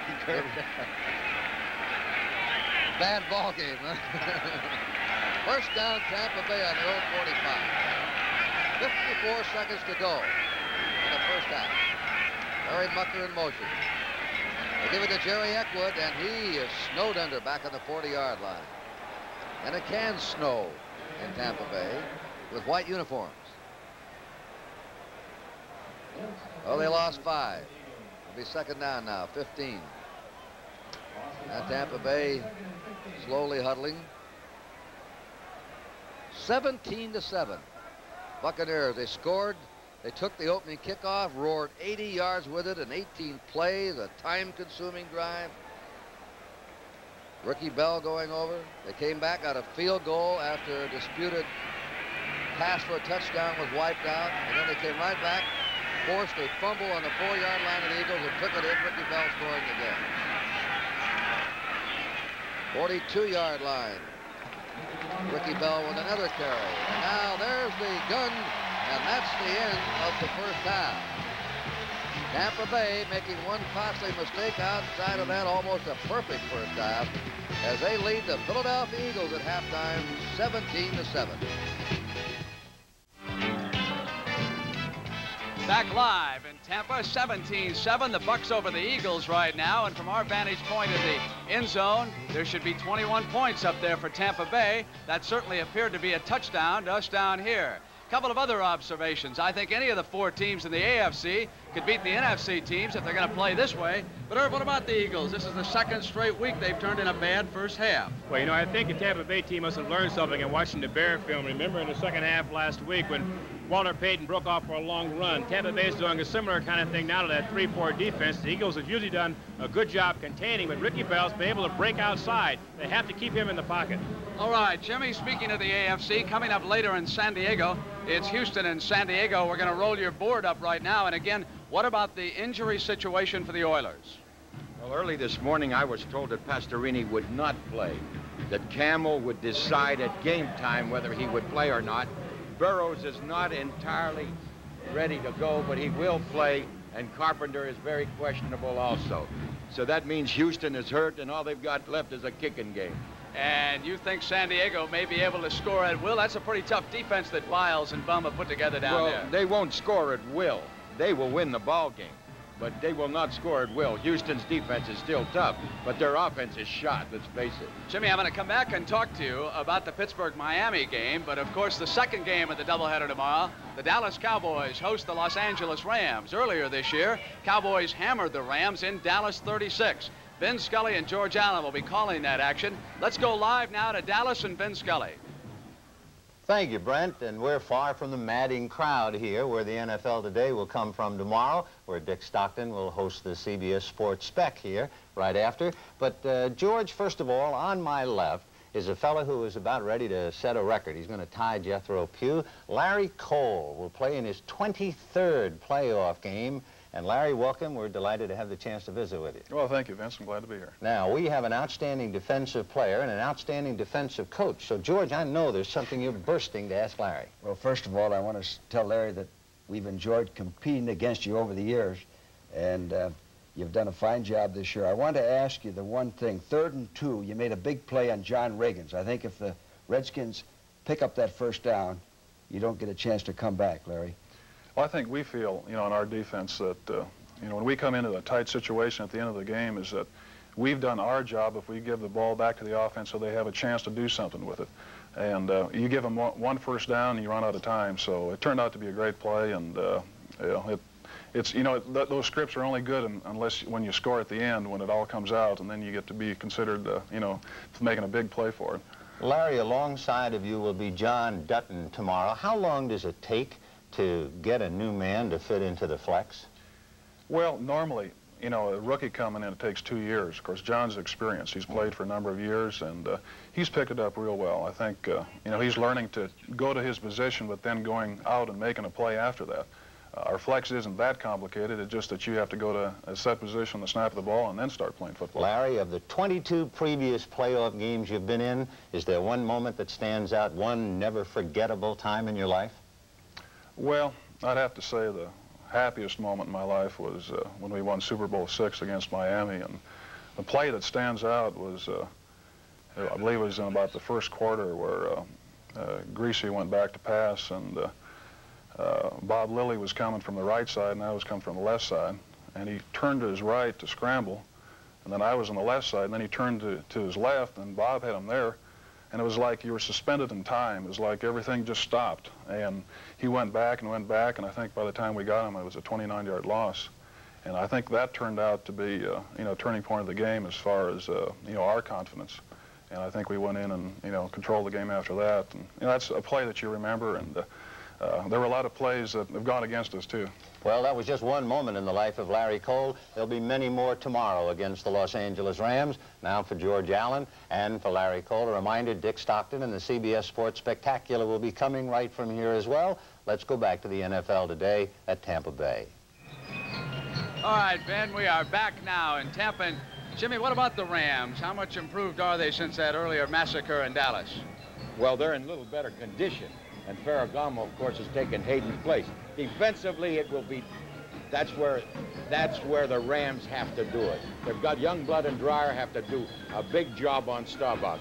Because Miami and Pittsburgh, of course, will be the first game tomorrow. Jimmy, and how do you evaluate that one? I'll tell you, the first seven players defensively for, for both Miami and Pittsburgh are almost dead even right at this moment. For Miami to win it, Tony Nathan on the special teams has got to do a big job because offensively Pittsburgh would stop, uh, rather with uh, with uh, Bradshaw, uh, their offensive line, their running game, have just they're just too physical for Miami.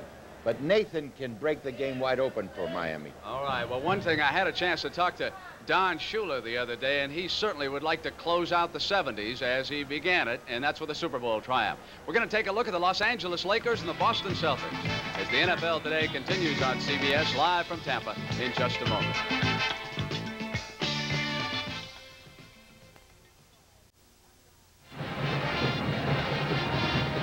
Halftime continues in Tampa. And last night in the Forum in Inglewood, California, it was a rematch. Larry Bird, now with the Boston Celtics, against Magic Johnson, now, of course, with the Los Angeles Lakers. Not a ticket to be had. A sellout crowd in the Forum, and Kareem Abdul-Jabbar put the Lakers ahead as he rolled one up over the head of Dave Cowens. Now, Chris Ford is the leading three-point man in the NBA. Watch number 42 for the Celts get right behind that line and put it up, and the Celts took a lead early. With all the publicity that Johnson's getting, we sometimes overlook number 10, Norm Nixon, penetrating inside, keeping the Lakers right in the ball game. Now watch Kareem draw the double team from Cowens and Bird and go over to smooth as silk Jamal Wilkes. We are still in the first period, and the Lakers were starting to exert themselves. Here is Kareem controlling down at the defensive end, Got a hand on it, and Nixon brings it back down the court for the Lakers. And again, it is Wilkes, and Los Angeles goes ahead. Boston has their fast break working again under Bill Fitch. Watch here now, Robey to Bird, and it'll be ML Carr. And this was one of the bright spots of the evening for the Celtics. Because beginning in the second period, the Magic Man, Johnson, began to take charge. Here he is coming in over the top of Chaney. Now watch Magic again. this time in the second half, go to work against Ford. Magic winding up with 23 points. And Spencer Haywood off the bench to stuff one over Larry Bird. And the Lakers beat the Boston Celtics by a score of 123-105, which sets up the rematch, and you'll see it on CBS, the afternoon of January 13th. The Los Angeles Lakers and Magic Johnson will be in the Boston Garden to take on the Celtics and Larry Bird. Now, how about the action here from the first half? How about the Buccaneers? Their offensive line controlling the line of scrimmage for two long drives. And of course, the big runner in the game has been Ricky Bell, formerly of USC. Dick Vermeil and the Eagles knew they were in for a battle. And here he came again, Bell. An 80-yard drive. And Tampa started to exert itself. Tony Franklin then had a long field goal, and it's off the fake, but the penalty brought it back. And Tampa came down the field with Doug Williams hitting Larry Mucker, who got to the Eagle 33-yard line. This time it's Doug going to Isaac Hagins to the Eagles' 11-yard line. And the most controversial play of the first half. It was ruled that Giles did not have control. Forget about his feet. The back judge said he did not control the ball. From here at this end of the field, it looked like a touchdown all the way. They settled for a field goal. Following the kickoff, Jaworski handing off to Montgomery and Wally Chambers. Cleaning up along with Crowder, and it was Chambers who was able to strip the ball from him. Chambers cost the Buccaneers dearly, first round choice, but he's come through. And Ricky Bell ran it in for his second touchdown. It was 17 0 before late in the first half against John McKay, they got the break they needed. Jerry Robinson, the rookie from UCLA, picked off the deflected pass and got back to the 11-yard line, a 36-yard run back by Robinson. Jaworski, who has not been able to find Carmichael in the first half, then got the Eagles on the board by going to the other wide man, Charlie Smith. Shane, you were the only one who thought the Bucks might do it. Can they hold on? I really thought that they would be better than most people thought, but I thought that they would miss Charlie Hetta, you know, more than they are. But it doesn't seem to be affecting them that much. And it also doesn't seem to be the same Philadelphia team that played Chicago last week. I thought that they would come on a lot stronger. All right, the players are on the field. We're ready for the second half. And the NFL today continues on CBS in just a moment with the Eagles trailing the Buccaneers 17 to 7. It's official. Ford is the only major U.S. car maker with improved mileage ratings for every standard 1980 model made in America. Better ideas for the 80s. Better ideas from Ford. Improved mileage for Fairmont, the right idea for today. For Mustang, America's best-selling sports car. And for value-packed Pinto. Improved mileage ratings for every 1980 Ford car and light truck made in America. That's a better idea you can take to the bank. Better ideas from Ford. I do the Continental to ensure my accidental. We do the Continental to ensure our residential. I do the Continental to ensure my developmental. They can insure all I have to insure. I do the Continental to ensure my instrumental. I do the Continental to ensure my transportational. Join the over 4 million satisfied Continental Insurance policyholders. Do the Continental. Hi, I'm Pat Summerall, and this is the ultimate souvenir of sports' biggest event, the official Super Bowl 14 game program. It contains dozens of photos and features, a week-by-week review of the 1979 season, and scouting reports of the Super Bowl teams. This is the same 144-page program that will be sold on Super Sunday. So order yours now by sending a check or a money order for $3 each to Super Bowl number 14, P.O. Box 15, Houston, Texas 77001. Allow three weeks for delivery after the game.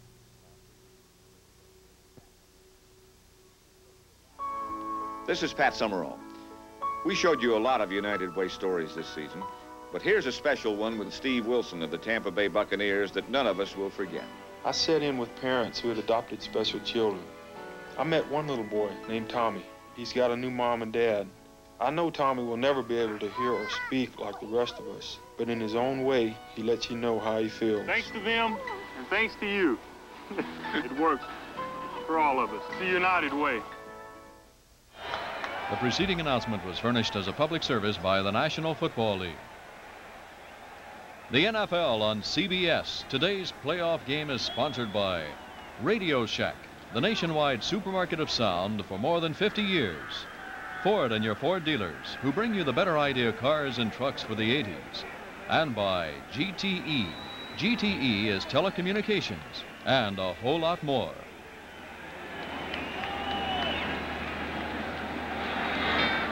Curt Gowdy, Hank Stram, Tampa Bay Stadium.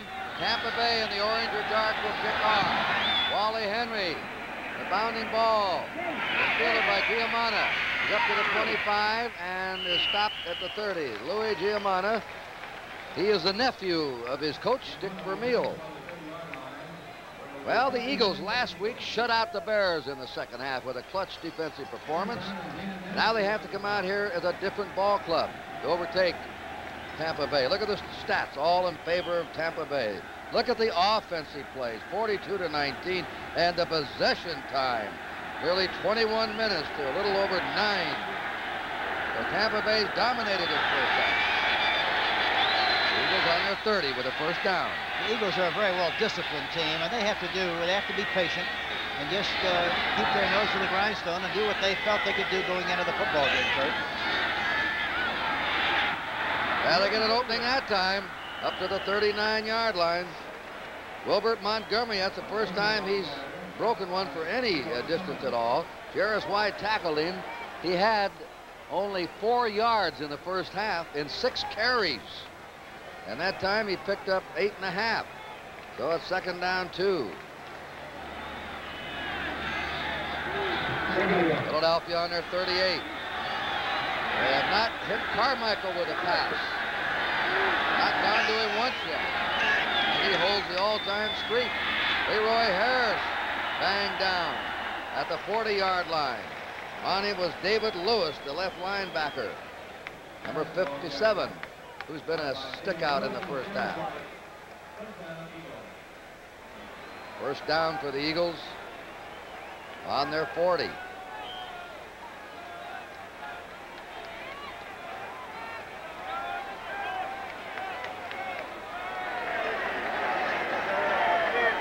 That's the safety man.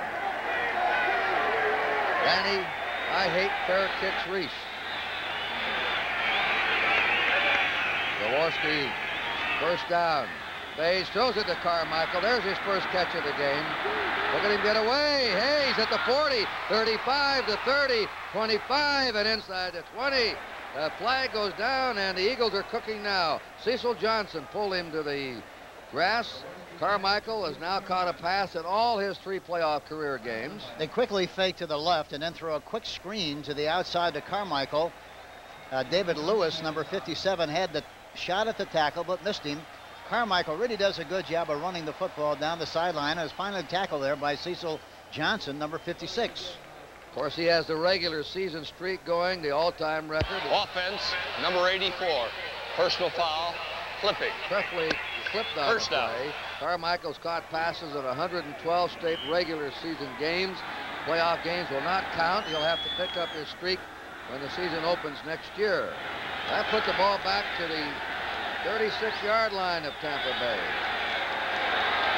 Philadelphia coming right out. Tampa Bay 36.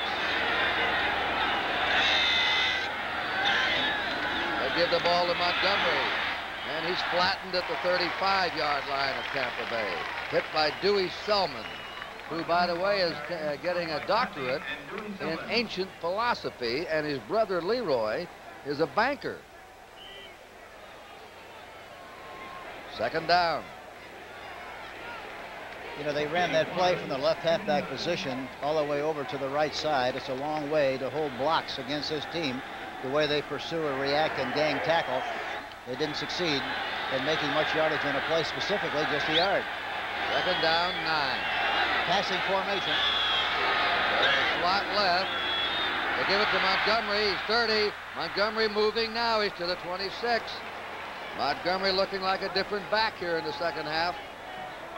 David Lewis brought him down, and now uh, an uneasiness hang growing here in the Tampa Bay crowd. Well, this is this is basically a passing formation, and in the family of the passing formation, naturally is a draw play. They run the draw play that time very successfully, and uh, now they're going to uh, say what? First down. First down. There it is.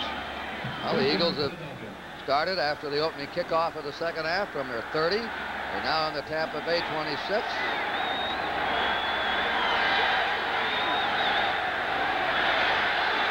Carmichael's to the left.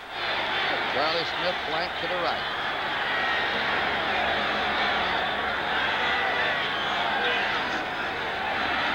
Jaworski going to Smith. Broken up at the 10-yard line. Jeris White, the left cornerback, number 45. Broke that one up. Second down 10 for the Eagles on the Tampa Bay 26. 17 to 7. Tampa Bay leading. 11.58 to play in the third period. Jaworski has attempted 13 passes, completed 7 for 73 yards. This team- out is uh, Aaron Brown. Philadelphia has to run some counters and some misdirection screens like they did earlier with good success to make this defense of uh, Tampa disrupt itself a little bit with flow.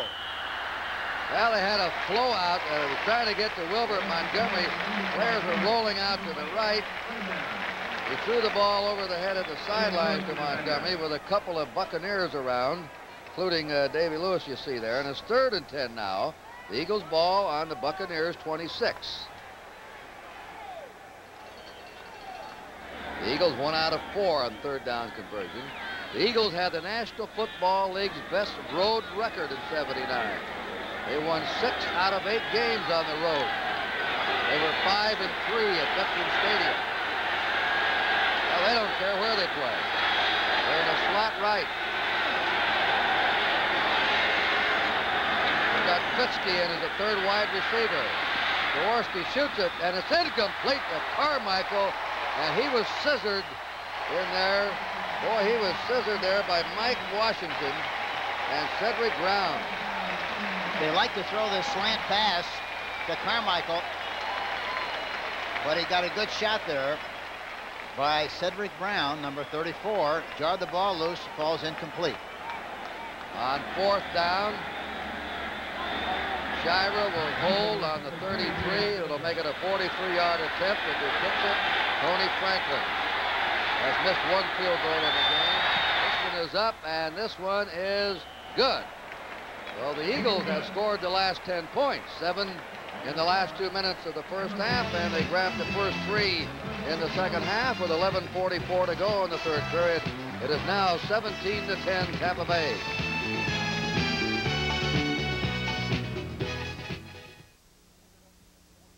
Join me for a special occasion, the introduction of the ultimate LTD, the elegant new LTD Crown Victoria.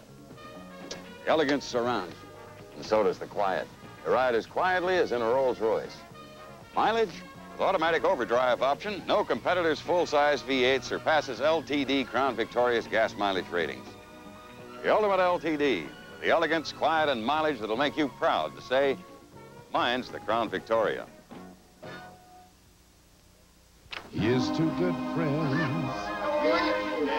Merry Christmas. Tonight is kind of special. you guys. Where do you think you're going? Merry Christmas. The beer will pour.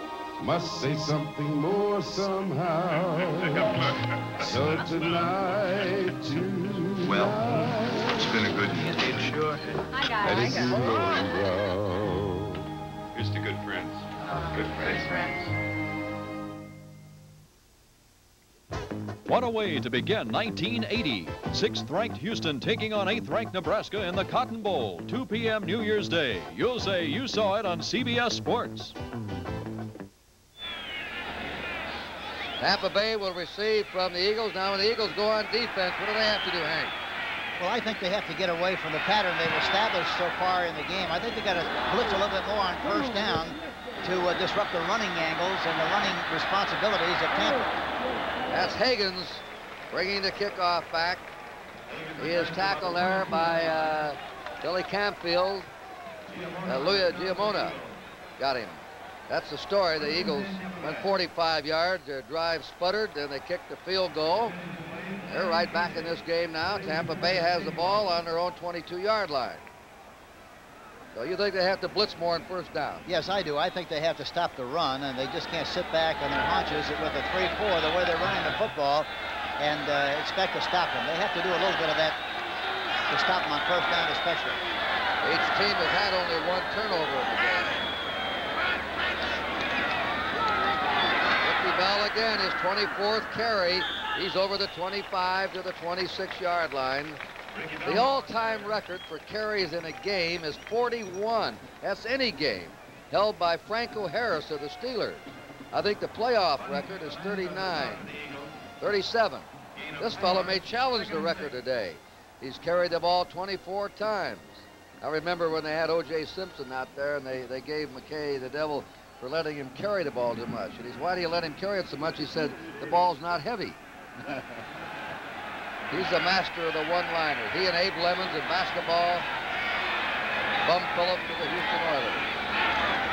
Second down, seven. There's Ricky Bell again. The master misses it. He goes out of bounds. He's earning it the tough way now. He's up to his 29. He'll bring up a third and three. Jerry Robinson drove him out of bounds.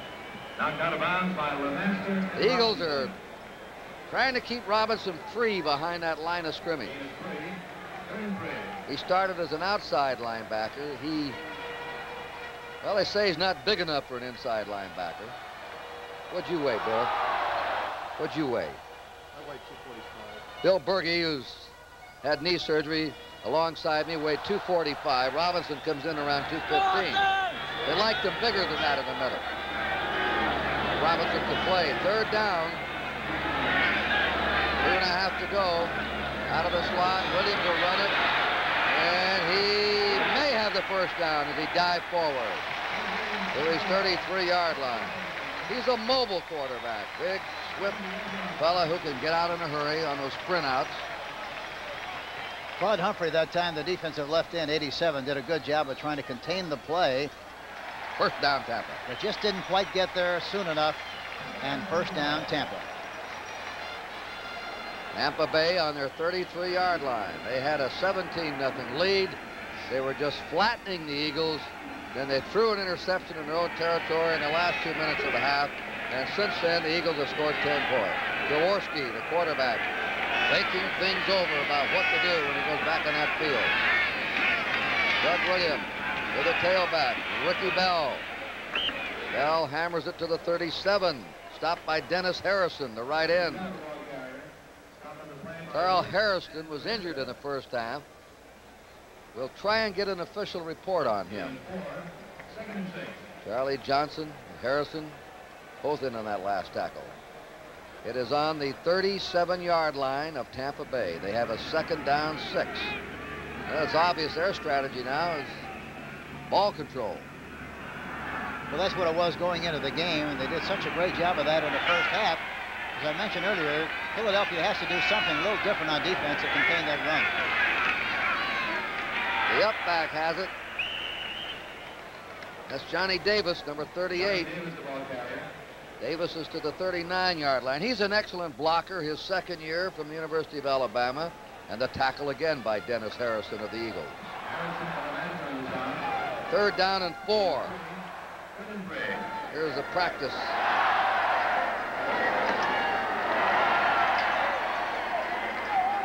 The punter, Tom Blanchard, getting his leg loosened up in case he has to go in there and kick. Third and four. Buccaneers on their 39. One back offense. The roll left, the pass, complete. Yard loose, the fumble. Now they call it an incomplete pass. It was jarred loose. Isaac Hagins had the ball right in his stomach, and then the hit from behind jarred it loose. That was Herman Edwards who hit him. Yes, he rolled to his left and got the ball to Hagins in good shape. Whistled it right in there like you had to, like he had to have it. But Edwards comes up and makes the tackle. and uh, the ball fell loose, incomplete. Well, the Buccaneers must relinquish the ball.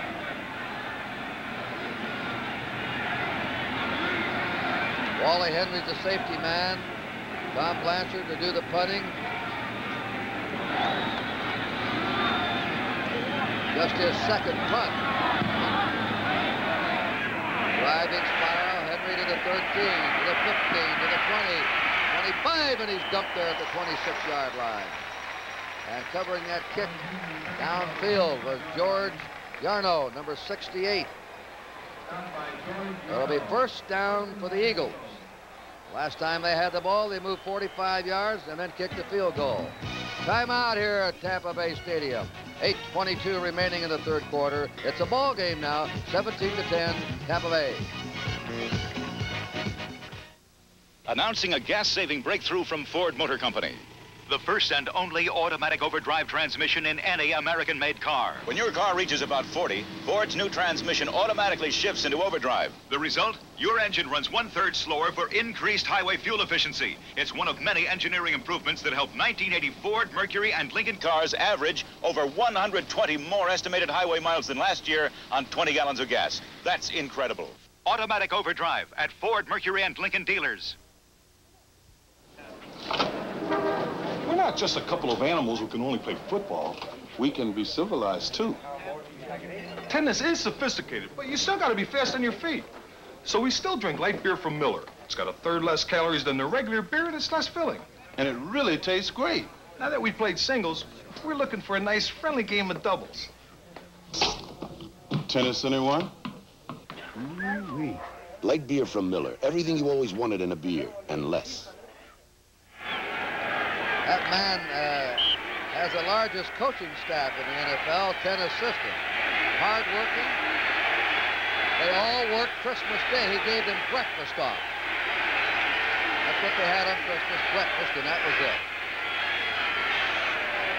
There's Montgomery. Montgomery to the 29-yard line.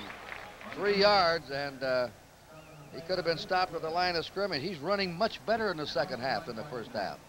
Well, only because he's had more room to run when he's had occasion to do that. That time they ran another counter play. They run that play three times.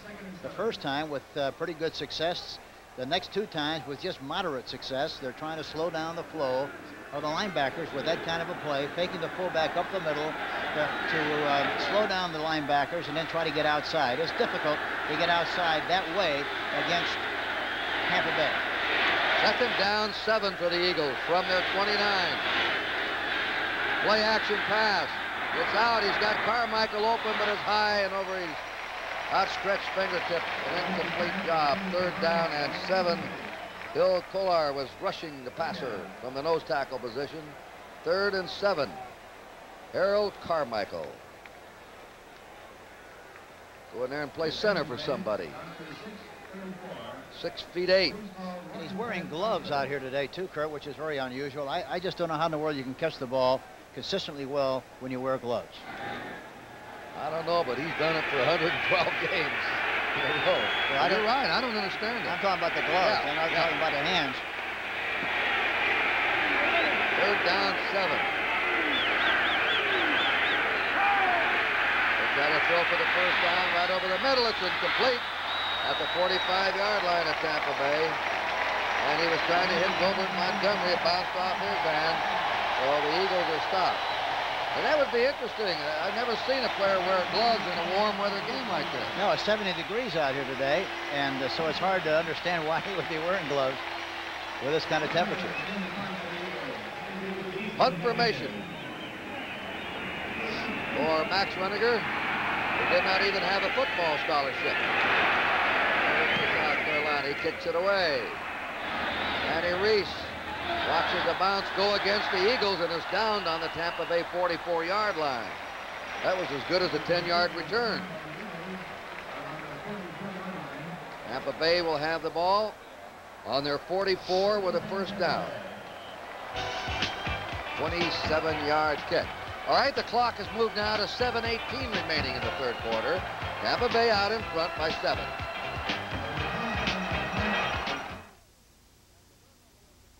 Do you know me? At the Berlin Olympics in 1936, I was the fastest man alive.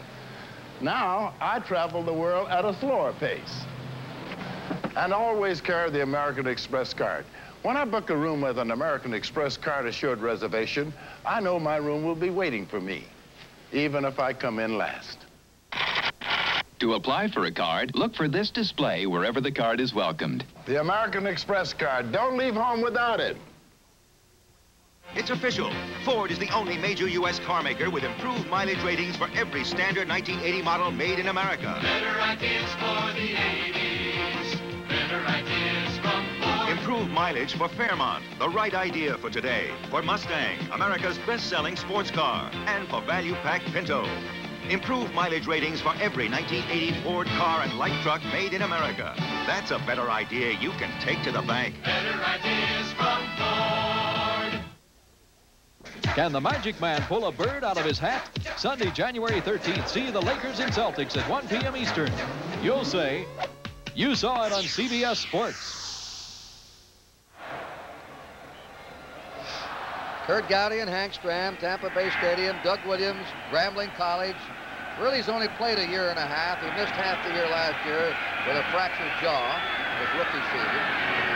Has a spread backfield. Sends Ricky Bell in motion. Now he gives the ball to Isaac Hagins. He sputters around, comes over to 50, and is stopped at the 49 of Tampa Bay. Just a little hitch pattern. Out to Hagins. They wanted to get him one-on-one and let him go to work. That's exactly what they did. They sent the halfback in motion on the other side, threw the ball uh, away from the flow, back over here to Isaac Hagins, try to get a one-on-one, which they did, and they succeeded in making seven yards on the play. Second down, three. The Bucks are the first NFL expansion team to win their division in their first four years since Cincinnati won the 1970 AFC Central Crown in only their third season. Second and three. There he comes again. He has the first down, Ricky Bell.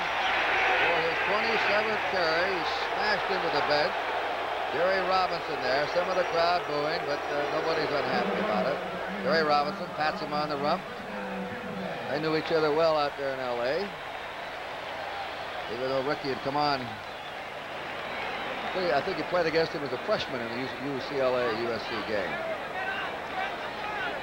First down, Tampa Bay on the Philadelphia 42-yard line. 17 to 10. Tampa Bay leading.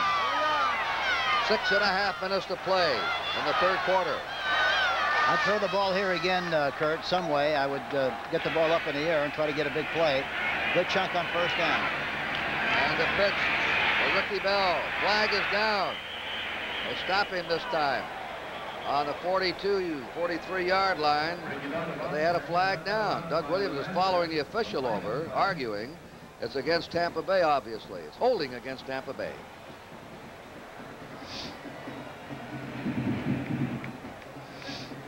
Fred Silva will tell us all about it.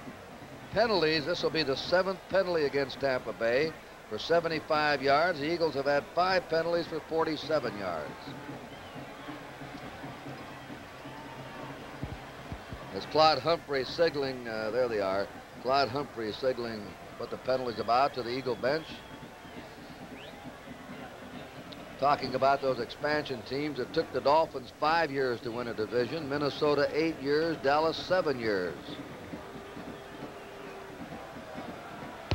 Offense, number 86, holding. First down. That's called on Jim Obradovich. Once the Vikings, the Cowboys, and Miami, the expansion team, started to win their division, they kept it going.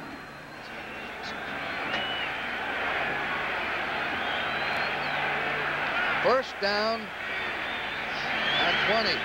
Tampa Bay on their 48-yard line. He fires it. It's completed to 38. Spinning inside the 35 down to the 32. It's Morris Owens. One of the alternate wide receivers with Larry Mucker and Reggie Wilkes put him down. He rolls out to his right, does not get very good depth, delivers the ball right on the money to Morris Owens, 85. And he's tackled there by Reggie Wilkes, number 51. Williams has been doing that today. After a penalty with first and 15 or second and 20, he's come back and hit a, a pass to wipe it out and give him a first down. Well, it's a good change of pace, too, because he's rolling out quite a bit, much more than I've seen him do in other games that we've uh, worked against Tampa, the Tampa Bay Buccaneers. Those are the first down. Flag goes down again. The play stops.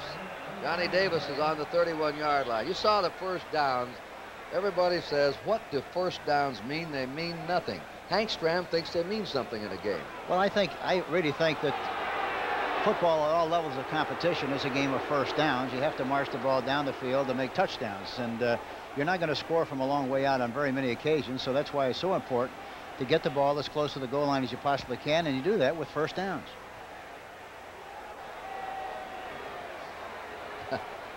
Offense holding number 86. That's on Obradovich again. Second time in a row. They have detected holding on Obradovich. You know, Tampa has run the ball so much in this game that I think they're at a stage in the contest where they can afford, especially with their being ahead like they are by seven points, I think they're afford, they can afford with good field position to throw the ball more on first and 10. Tampa Bay has been caught holding five times. The Eagles, none. There goes Williams to the 40. And he goes down at the 36-yard. Notice him pointing out, trying to get a block from somebody. Get this man, take him out. He picked up six on that play. Jerry Robinson was drifting over there laterally with him. They didn't take him out. He's a shadow. But moving the pocket like he has been really puts a lot of pressure uh, on the defense. And once you get outside of the containment, like he did that time, you have the option to run or pass. And of course, that's one of the greatest plays in football. We're down to 4.50 to play in the third period. 17 to 10, Tampa Bay leading. Morris Owens brought a play. Front left. Straight ahead is Ricky Bell, and Charlie Johnson wrapped him up as he tried to slide by him. Johnson, number 65. They'll spot it on the 33-yard line of Philadelphia. Three-yard gain is third down 11. Boy, they've gone wild here. Well, we had the orange crush out in Denver. This is the orange wave in Tampa Bay, by the Bay. The snooker running and all's right with the world. 17 to 10. Tampa Bay leading. Third and 11.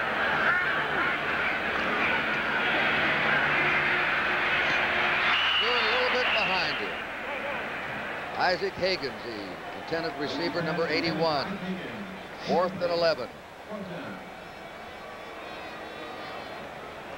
And the uh, punting team is coming on. Tom Blanchard,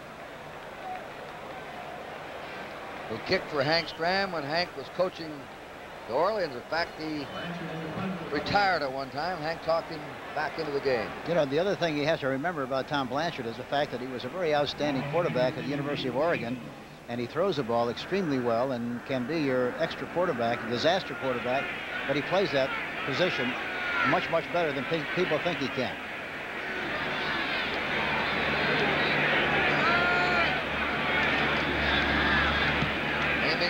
Aiming it for far coffin corner, and it is a touchback into the end zone. Just missed. That's Blanchard's 26th touchback of the season, more than twice of any other punter in the league. His punch just seemed to find the end zone. I'm surprised that he kicked it to the right. He had a much better angle to the left. 17-10 Tampa Bay. We do the Continental to ensure our apartmental. I do the Continental to ensure my accidental. I do the Continental to insure my Orientals. They can insure all I have to insure. I do the Continental to insure my instrumental. I do the Continental to ensure my transportational. Join the over 4 million satisfied Continental Insurance policyholders. Do the Continental.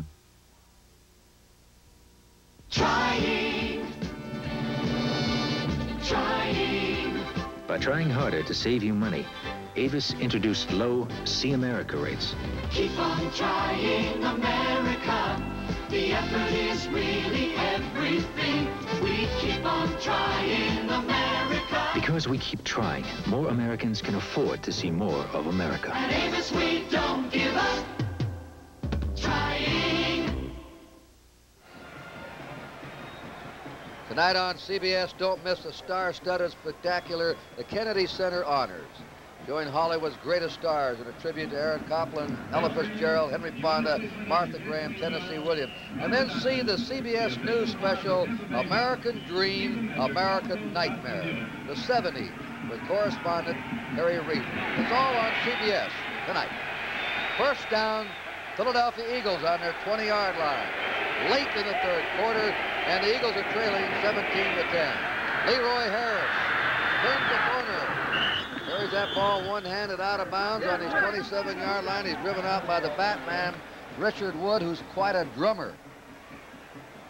That's the first time they've run that kind of a play. It was a quick pitch out to the fullback, but it's a lot easier uh, to get outside from that formation and do, to do it quickly than to try to bring the ball over from the right halfback position and try to get outside that way. It takes too much time away uh, against the way this team flows and responds to what they see. The Eagles had 29 yards rushing in the first half. They're doing much better in the second half, especially Wilbert Montgomery. Second down and three. There's a first down play out to the 31-yard line. Maybe the 32. Bill Kollar hitting Montgomery. Montgomery had four yards net rushing in the first half. And he now has 32 for the game. The leading ball carrier in this game is Ricky Bell. Ricky has 96 yards. First down, Eagles on the 32-yard line. Jaworski right over the middle of Montgomery. 45, 50, 45, 40. Big play for the Eagles. That's what they need, some plays like that. They're getting them. They're starting to open up that Tampa Bay defense now, spreading it out. All he did, all he did was hit the halfback Montgomery between the linebackers. The outside linebacker was trying to help the outside uh, coverage. Montgomery does a good job of running once he gets possession of the football, and it's a big play for the Philadelphia Eagles. Eagles on the Buccaneer 38. Vermeil at the clock. That play went for 30 yards. Well, the Eagles started this drive on their 20. 2.24 to go in the third period. 17 to 10, Tampa Bay. They pitch to Montgomery. He got away from one man who had him stopped at the line of scrimmage. Richard Wood and knocked him off his feet, and down he went on the 37-yard line. Uh, Leroy Harris that time threw a block uh, that time on uh, the linebacker. But in spite of that, he was still able to make the tackle. That's Richard Wood. Leroy Harris obtained from the Dolphins and one of those players to be named later or draft picks to be named later deals. But Harris, when Hogan left the Eagles and the wishes of uh, Coach Dick Vermeil, Harris stepped in and, uh, according to the Eagle uh, people that we talked to, has done a good job, especially blocking. Of course, Hogan was a fantastic blocker. There's Ricky Bell. Boy, Ricky, you deserve all the rest you can get out there while your defense is on the field. Ricky Bell has carried the ball 28 times, 13 away from an all NFL record for 96 yards, and he scored two touchdowns. 1979. And John McKay has gotten a lot of criticism early for taking Ricky Bell because they thought he was sentimentally involved with his old college back. But I'm, I'm, I'm sure that everybody fully realizes what a fine back he is and that uh, the choice that John made at that particular time was a very wise one. I always love it when you bring up Ricky Bell, as we said earlier in the first half, and McKay always adds, and he doesn't fumble. You coaches like those players that don't fumble. Well, that's so important. It seems like it's so basic, so elementary, but it's a fact that those are the kind of people that you like. Steady, dependable, solid running backs, and that's exactly what Ricky Bell is. He's all right. Harris is up. He's maybe sore, but He's on his own feet over there. Speaking about being busy, Wilbert Montgomery has been in almost 40% of the Eagle offensive plays all year. You say he's sore. I think he's sore at Jaworski for calling that last play. It'll be second down 10. The Eagles are on the Tampa Bay 38-yard line. Getting close now in the staff. Jaworski's coming on. Here he is to throw. He's rushed, and he's hit, got him. That's Lee Roy Selmon. He had a sack in the first half that was wiped out on a penalty, but he got that one. He led the team by a big margin in getting to the quarterback. That time he was looking downfield, and Larry Barnes was really open in the flat area, but he never take he never had a chance to take a look at him because Randy Crowder got pressure. Look at the balance on him. Yes, exactly right. He's up with his arms, and he stayed right on his feet. And, another great thing about him is he has terrific leverage. Nine-yard loss, third and 19. Selmon has led the Bucks in sacks four years in a row. Three wide receivers on Knock him off his feet. Uh, he is going to get dumped. The whistle blows him dead at the 42 of the Eagles. And suddenly, there's Selmon in there again. And Randy Crowder. Selmon and Crowder. Two big plays by Lee Roy Selmon. You know, it's amazing. Philadelphia has five people blocking three, and yet they were able, they did a good job of blocking them, but they come up. Look at Selmon coming from the right side. Three, right on him. And making the play. Three on five, and they win the battle. All the way back to the 42 of Philadelphia. They lost 20 yards in the last two plays. Lee Roy Selmon with two sacks.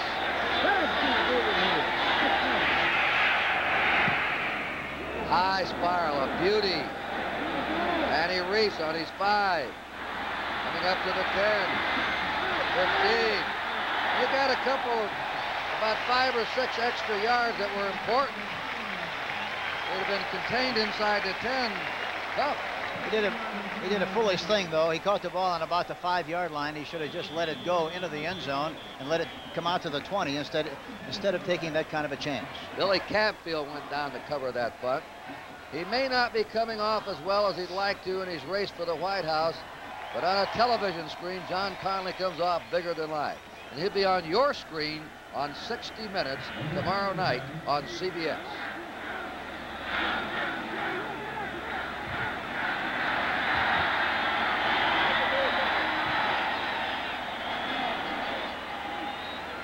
Clock shows 31 seconds to go. I believe, though, it's the end of the quarter. Or a penalty, but maybe bringing it back. I, I wonder if the clock had malfunctioned. Some of the players started to change goals. 31 seconds to go. And this penalty, uh, the Eagles had a man leave before the kick the interior line, undoubtedly. Kicking team, number 59. Downfield, fourth down, re-kick. Going downfield was Al Chesley. So that booming punt is called back. And Runager will kick it again. And Danny reached the safety man.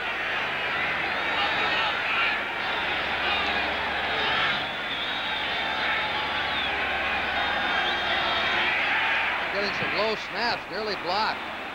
Reece fields it on his 22, 25, the 30, 31 yard line. They gained 11 yards on the punts after the penalty. And incidentally, they're getting that ball is being snapped on the bounce all the time. Yeah, he looks like a shortstop back there, feeling those snaps from the center. And, and once it's bounced, everything is off. They can go in there and cream that kicker.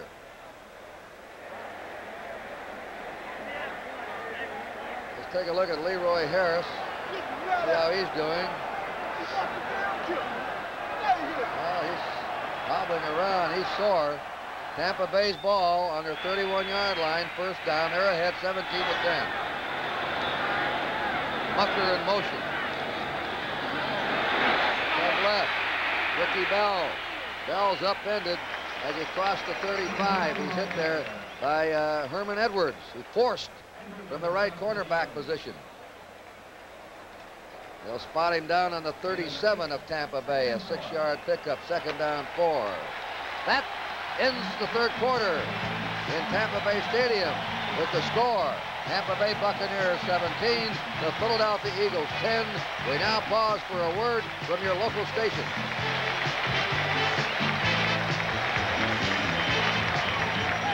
On The White Shadow, Salami turns the team on. Who gave you the drug? And it may mean the end for The White Shadow, now Tuesdays at 8, 7 Central and Mountain. This is CBS.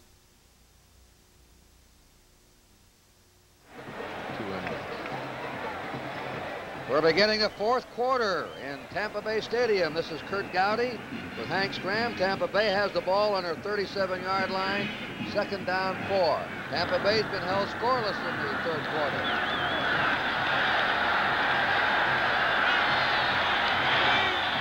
He didn't pick up a field goal in a tough defensive second half. Something this way, possibly. Here it comes. It is. That's Ricky Bell again. And he's out of bounds on his 39-yard line. John Bunting, the left outside linebacker, is the man that took him out, number 95. He had knee surgery in 78. Four of these important Eagle players had knee surgery and came back. All right, they're down to a third and two. There's our NFL Today gang in their special set. Hello, gang, and they'll be hopping a plane and moving over to Dallas for the Dallas Ram game tomorrow that you'll be seeing on CBS. A late game tomorrow. They're in the eye. Davis is the up back. Bell the tailback. Ricky Bell. Bell is stopped what appears to be short of a first down. Maybe not. He tried to stretch out. It's Going to be very close. How many carries for Ricky Bell now? 31 carries. 37 is the playoff record. He's over 100 yards in the game for the sixth time this season, all in Tampa Bay Stadium. It looks from here like it might be just a, an inch or two short. Let's see how they uh, look at it. Uh, you're right on it, Mr. Stram. I've seen you sometimes, though, on those sidelines when you didn't like those measurements. Just the punting team comes on. Tampa Bay had a disastrous day against Minnesota. They had four assorted kicks blocked by the Vikings and lost that game by one point, but they would have clinched their division earlier. Blanchard this year has had two punts blocked. Runager's had one blocked. Wally Henry was the safety man for the Eagles.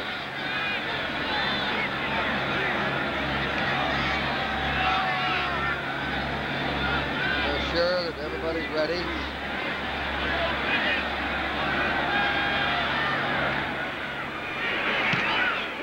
Oh, a driving kick. Henry's being chased back. Fields it on the 8 to the 10. There they are, and they ankle trapping around the 17 or 18 yard line. Rick Berns, number 36, speeding downfield to cover. Rick Berns from Nebraska. He kicked it long, but it didn't stay up in the air very long. It was 4.1, but he drove him back far enough where he really didn't have an, an opportunity to get into the wall and get the return form. All right, the Eagles will have the ball inside their own 20 when we come back, trailing 17 to 10. Ready for the first new truck of the 80s, the new Ford pickup. 1980 Ford test trucks got over a million total miles of testing here at Ford's Arizona Proving Grounds over torture tests like steel-lined potholes and power hop hill. This 1980 Ford pickup has new aerodynamic design, the best gas mileage rating of any American-built standard pickup. Carries a big payload, too. It's the super season of better ideas at your Ford dealers now. You know, for too long now, bowlers have been left out of light beer commercials, and football players have been grabbing all the glory. But bowlers know light beer from Miller tastes great. We know light's got a third less calories than the regular beer. We know light's less filling. Bowlers love light just as much as football players. That's right. And we also love the easy opening can. You sure do. Light beer from Miller. Everything you always wanted in a beer, and less.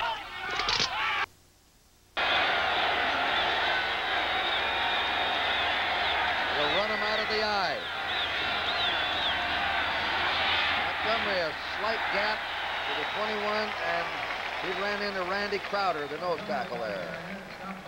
Gain of three, second and seven. I thought uh, Jaworski had a pretty good line. He called today's matchup. He's called the Polish Rifle, and he calls Doug Williams the Bayou Bullet. Polish Rifle and the Bayou Bullet. Going at it. Right now, the Bayou Bullet has a slide head. 17 to 10, Tampa Bay. And we also got the Polish Prince and Bobby Vinton, huh? Jaworski to throw. Lobbed it out. Montgomery, they've got him out there. David Lewis drifted out, waiting for that ball to be tossed to Montgomery. And then jumped right on him like a bass on a bug. Boy, it's just amazing how quick these people respond to what they see. They'll come up and make a big tackle on a run and then come right back in the very next play and intercept a pass or knock down a ball or cover a screen pass. They really do a terrific job with the 3-4. Very well disciplined and a great deal of credit should go to Tom Bass, who works for the defense along with Abe Gibron, who's done such a remarkable job with the defensive line. Scott Fitzkee, a third wide receiver there. He and the third string quarterback of the Tampa Bay team, Fusina, were a great battery at Penn State. Three wide receivers, third and 13. Billy Campfield dropped the ball. Incomplete pass. He was trying to turn up field before he had possession. And he doesn't do that very often. He's a sure-handed receiver. They like to throw to him. That's why they put him in there on that kind of a situation. But he just tried to run prematurely that time and dropped the football. Punt formation for the Eagles. And if Tampa Bay doesn't mess up this kick return, they should be in outstanding operating position.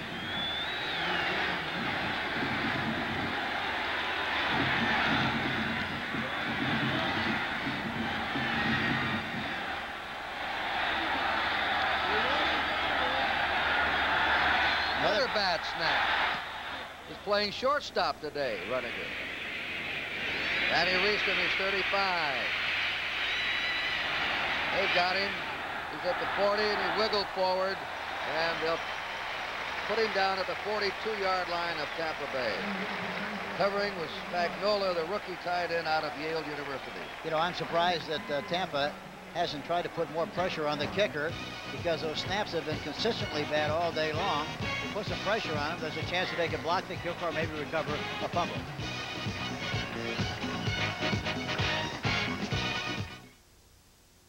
RCA wants you to see the right color.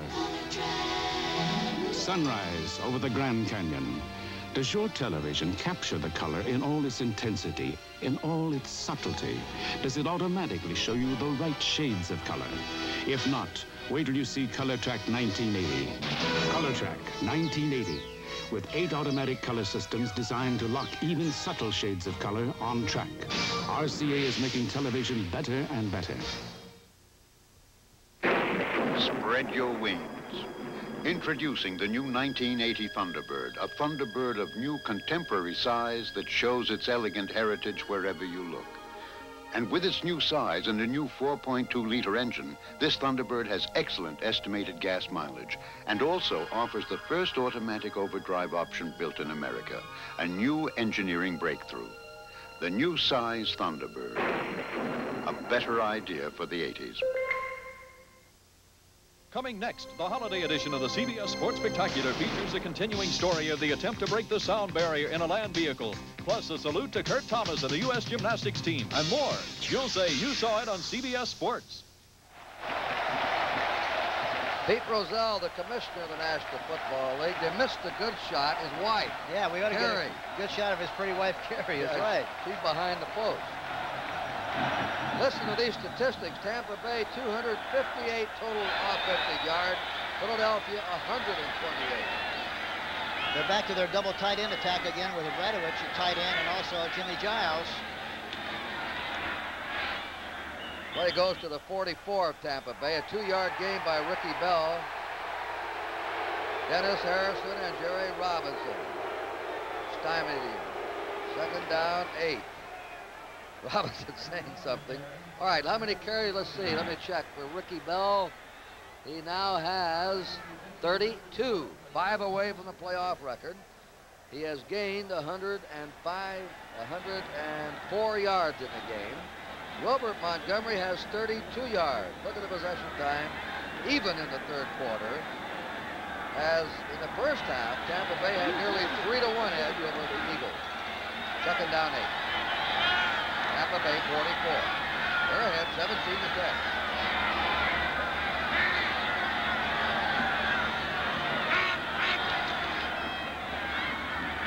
The cutback, Ricky Bell, just with driving power, surged over the 50 to the 49 of the Eagles. That'll bring a third down and a yard to go. Jerry Robinson and Frank LeMaster converged, the two inside linebackers. First downs will be very important now for Tampa Bay to retain possession. They led 17 nothing.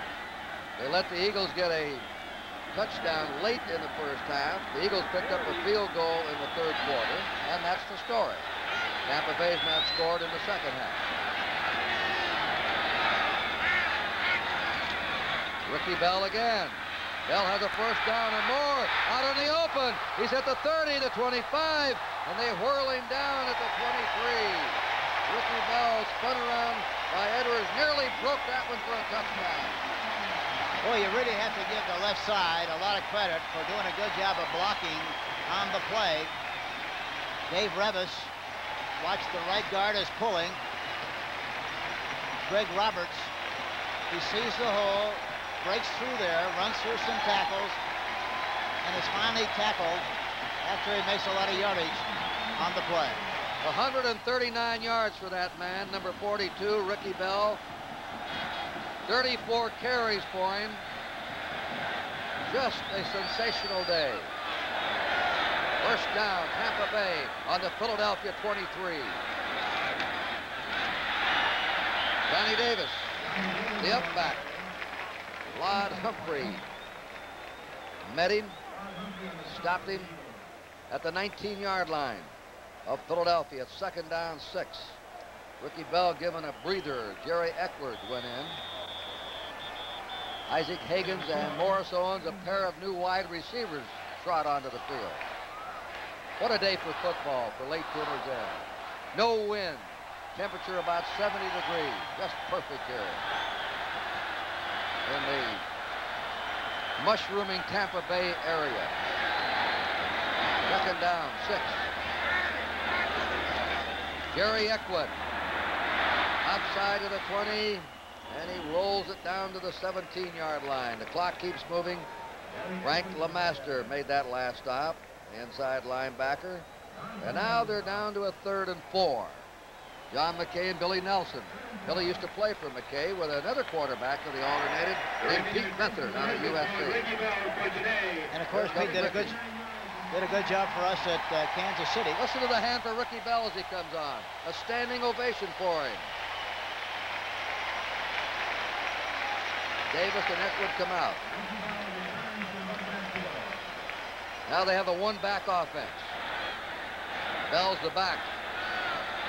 He's been the whole backfield.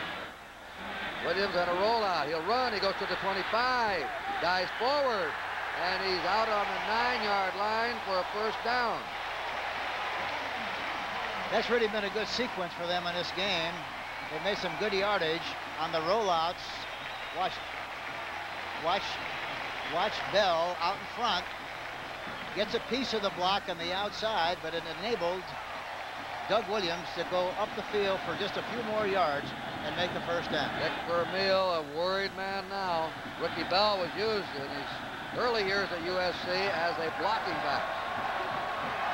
That's the Eagle bench. They're anxious watching that clock. First and goal to go for Tampa Bay. Leading 17 to 10. 8.33 to play. First down, nearly double, over doubles. There goes Bell. Bell hits it to the eight, and that's all. But he racks up another carry. Dennis Harrison was the man that stopped him. Second down, eight to go for a Tampa Bay touchdown. Bell has 35 carries, two away from a playoff record, or tying a playoff record, 140 yards. Bell is coming off the field. Number 42. Clock is moving under eight minutes to go.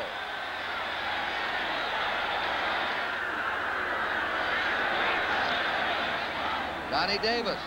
He's trapped at the eight-yard line. Charlie Johnson, the nose tackle, and Jerry Robinson, the rookie linebacker. Robinson is the first draft pick the Eagles have had since 1973 when they drafted Jerry Sizemore, a tackle number one. I talked to Jim Murray last night, Hank. I said, do you have a number one next year? He said, we wouldn't trade it for an Easter Sunday. so we gave them all away, the first picks for years, and now we had Jerry Robinson this year, and we're going to keep all of our number one picks from now on. He actually lost a yard on that last play. Doug Williams coming over, and a timeout called on Tampa Bay. They have two left. And with the timeout, 7.13 to play, Tampa Bay, the underdog, leading the Eagles 17 to 10.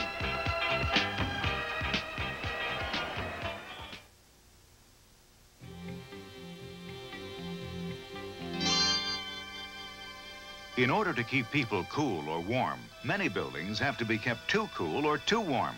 In the process, energy and money go flowing out the window. Mercy Hospital in Miami, Florida decided to do something about it.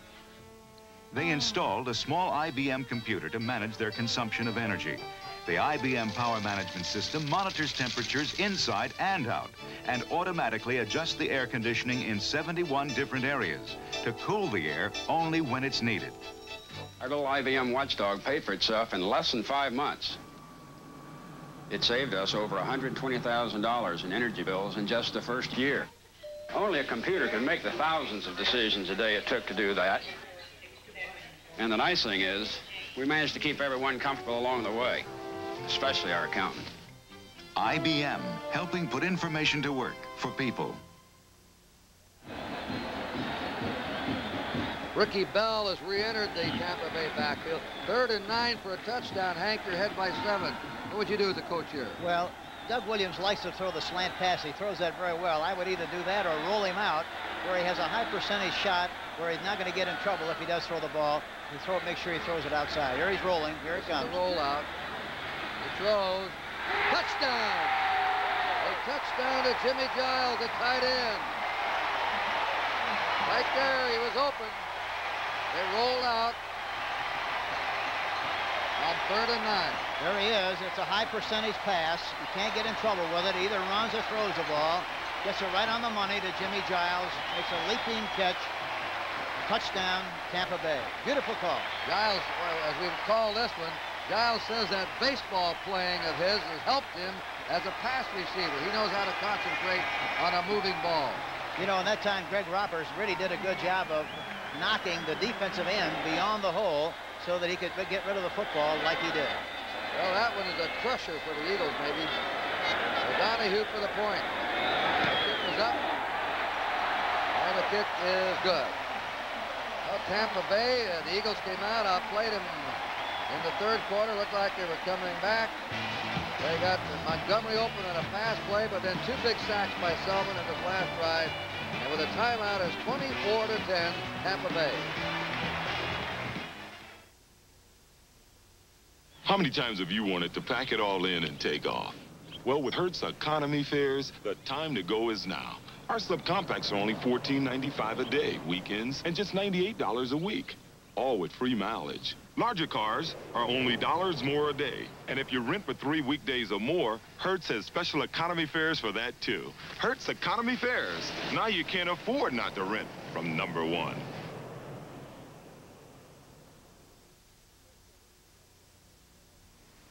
If you missed the recent Delco battery sale, here's great news. AC Delco slashes its regular prices on the three most powerful automotive Delco Freedom batteries. Freedom is the original, never add water, maintenance-free battery. It's powerful, dependable, and it's from Delco. Check Delco Freedom battery prices where quality AC Delco parts are sold and take advantage of our reduced regular price. You'll say thanks, Delco. Join the performing arts finest as they salute five most extraordinary talents. The Kennedy Center Honors, Saturday on CBS at 8, 7 Central and Mountain. The kickoff by O'Donoghue.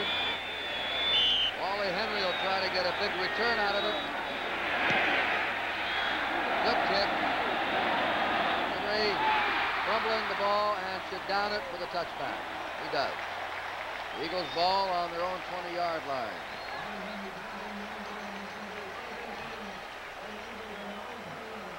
There's the drive, nine plays, 57 yards, over five minutes. There's the man that engineered it. Where is it?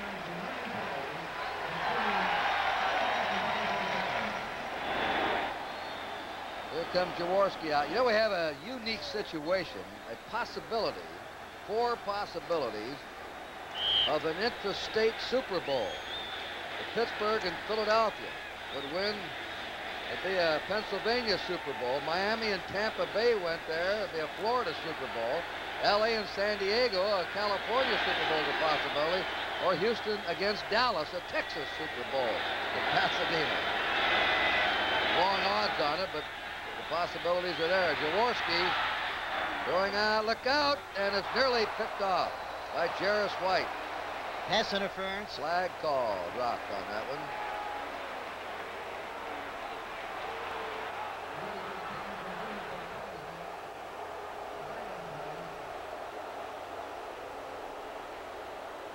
This will give them a first down on the 39 Number 45, defensive pass interference. That's Jeris First White. down. Interference.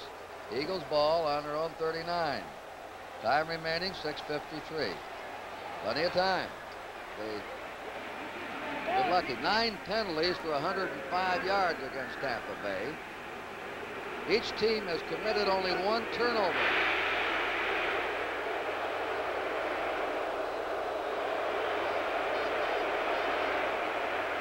Jaworski down the middle, and that is incomplete. And uh, claiming interference again are the Eagles. Dewey Selmon that time, reaching over Larry Barnes' shoulder. Well, he was all over him that time like a piece of abalone. Dewey Selmon, number 58. He was really stuck to him that time. Tampa Bay sticking with that three-man rush. They've had the only sacks of the game. Selmon, two very important sacks when it looked like the Eagles were going somewhere to tie it up. Second down 10, 6.47 to play. 24 to 10, Tampa Bay.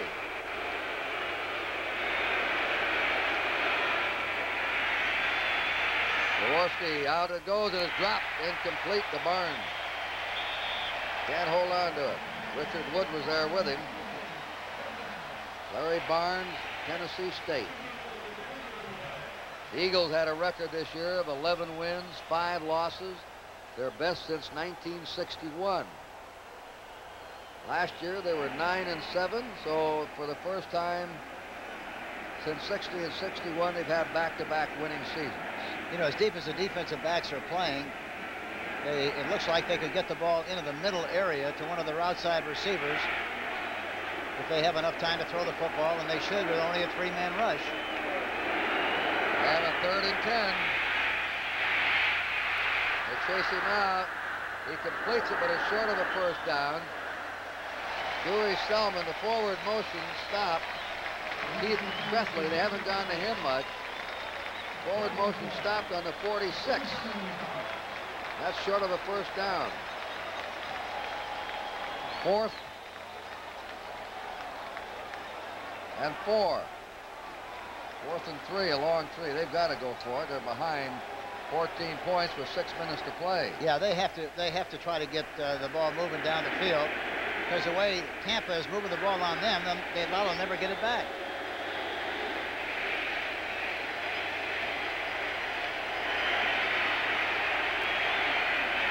Campfield's in the game. They hit Krepfle again for the first down. Krepfle, the tight end of Iowa State. First down, Eagles. They're in Tampa Bay territory at the Tampa Bay 49.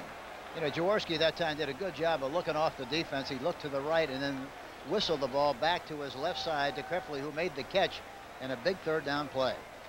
Krepfle's second reception in the postseason. He was shut out last week by the Bears. 5.20 to go in the game. Carmichael's to the right. They haven't gone much to him today. Jaworski looking. Out it goes. Incomplete pass. At the 45, trying to hit Larry Barnes. He's going short. He's trying to throw underneath the dropping defense.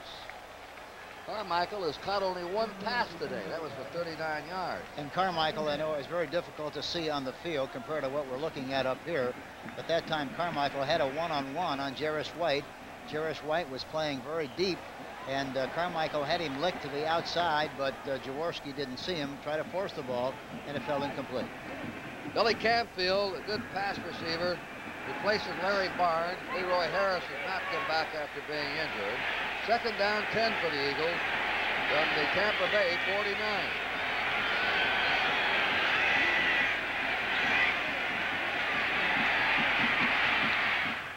Drop right over the middle. Wilbert Montgomery could have caught that one. Third down 10. Line of scrimmage still Tampa Bay's 49. You know, uh, Tampa is also doing a good job of disrupting the route of Carmichael. They're not letting him get a free release off the line of scrimmage, and for that reason, he is not able to get very, very good depth. And uh, when Jaworski takes a peek over there to look at him, sees that he's getting jammed at line of scrimmage, he has to go some other place, and that's why Carmichael hasn't caught any more passes than he, than he has here this afternoon.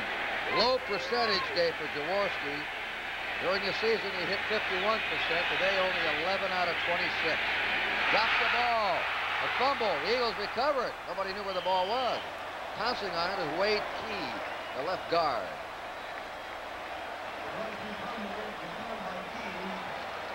That looked like that uh, old play Nebraska used against Oklahoma. I saw that play. Joel Hunt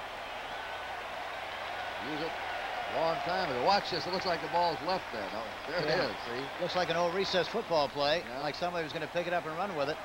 But that's that wasn't the design of the play. No. Fourth down and 11. Ricky Bell, he's been the star today. He and his blockers up front. Three wide receivers on the field. Fourth and 11.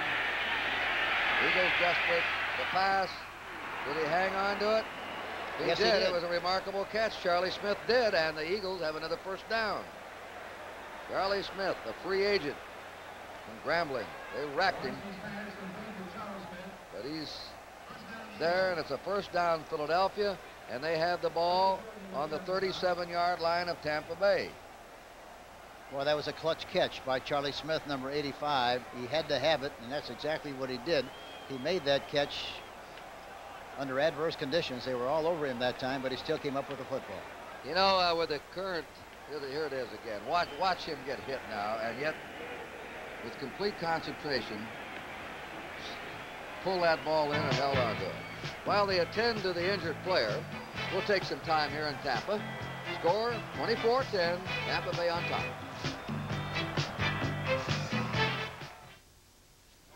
When you shoot a lot of pool and bars, you want to stay fast and loose, and you don't want to get filled up. That's why I drink light beer from Miller. Got a third less calories than their regular beer, and it's less filling. Plus, the taste is great. And even though a lot of people don't think pool is strenuous, let me tell you something. You can work up a real good thirst, even when you're just showing off. Light beer from Miller. Everything you always wanted in a beer, and less. I'd like to talk to you about the Sony Betamax and an incredible feature called Betascan. I'm Tom Williams Sr., and if you know tennis, you know my son. Here's a cassette of his last championship match. Beta scan lets me go fast forward and reverse, so I can skip the boring stuff like this long rally and stop when I come to the real exciting parts, like Tom Jr. here dashing onto the court to pick up the ball. Isn't Betamax terrific? It lets you see what you've been missing and miss what you don't want to see. It's from Sony, the one and only. You might have seen or read about this incident, uh, the current hostage situation in Iran that we'll discuss when we get some time. The Eagles had the ball on the Tampa Bay 37 with a first down. They're trailing by 14 points.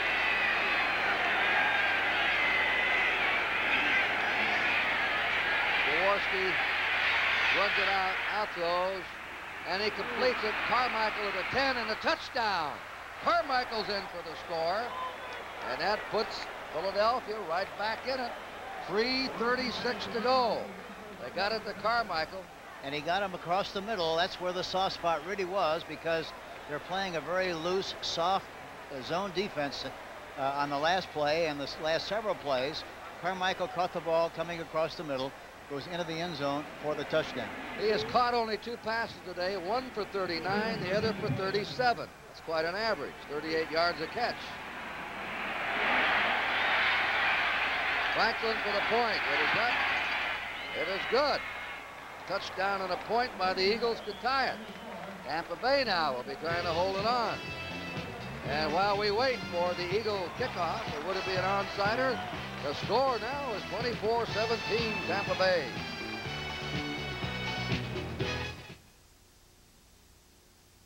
The system, TCR, Total Control Racing, slotless racing with the Jam car. Now, there are 48 different TCR cars to choose from. Everything from customized vans to sleek Transams and tough pickups. Every one a winner. So whatever kind of racing you're into, TCR cars set the pace.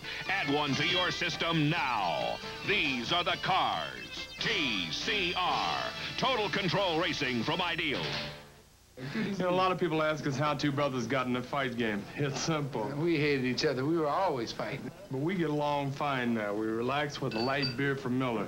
It has a third less calories than the regular beer, but the best thing about it is it's less filling. Oh, Jerry, the best thing about it is it tastes great. Mike, it's less filling. Tastes great, man. You got some attitude. You've been picking on me for years. Yeah, and I guess I'm just gonna have to do it again. Say but a bit. Light beer from Miller. Everything you always wanted in a beer, and less. Men up front. There's the time, the score, and nine men are up front for Tampa Bay to guard against the onside kick. They get the players with the surest hands and the quickest feet up there, and they try the onside kick, and it is out of bounds. Flag is dropped. They're trying to loop it up in the air, and going down there was Fitzkee, a wide receiver, trying to catch it in the air before it went out of bounds. Has to go 10 yards or more. And they'll bring it back and kick it from the 30-yard line.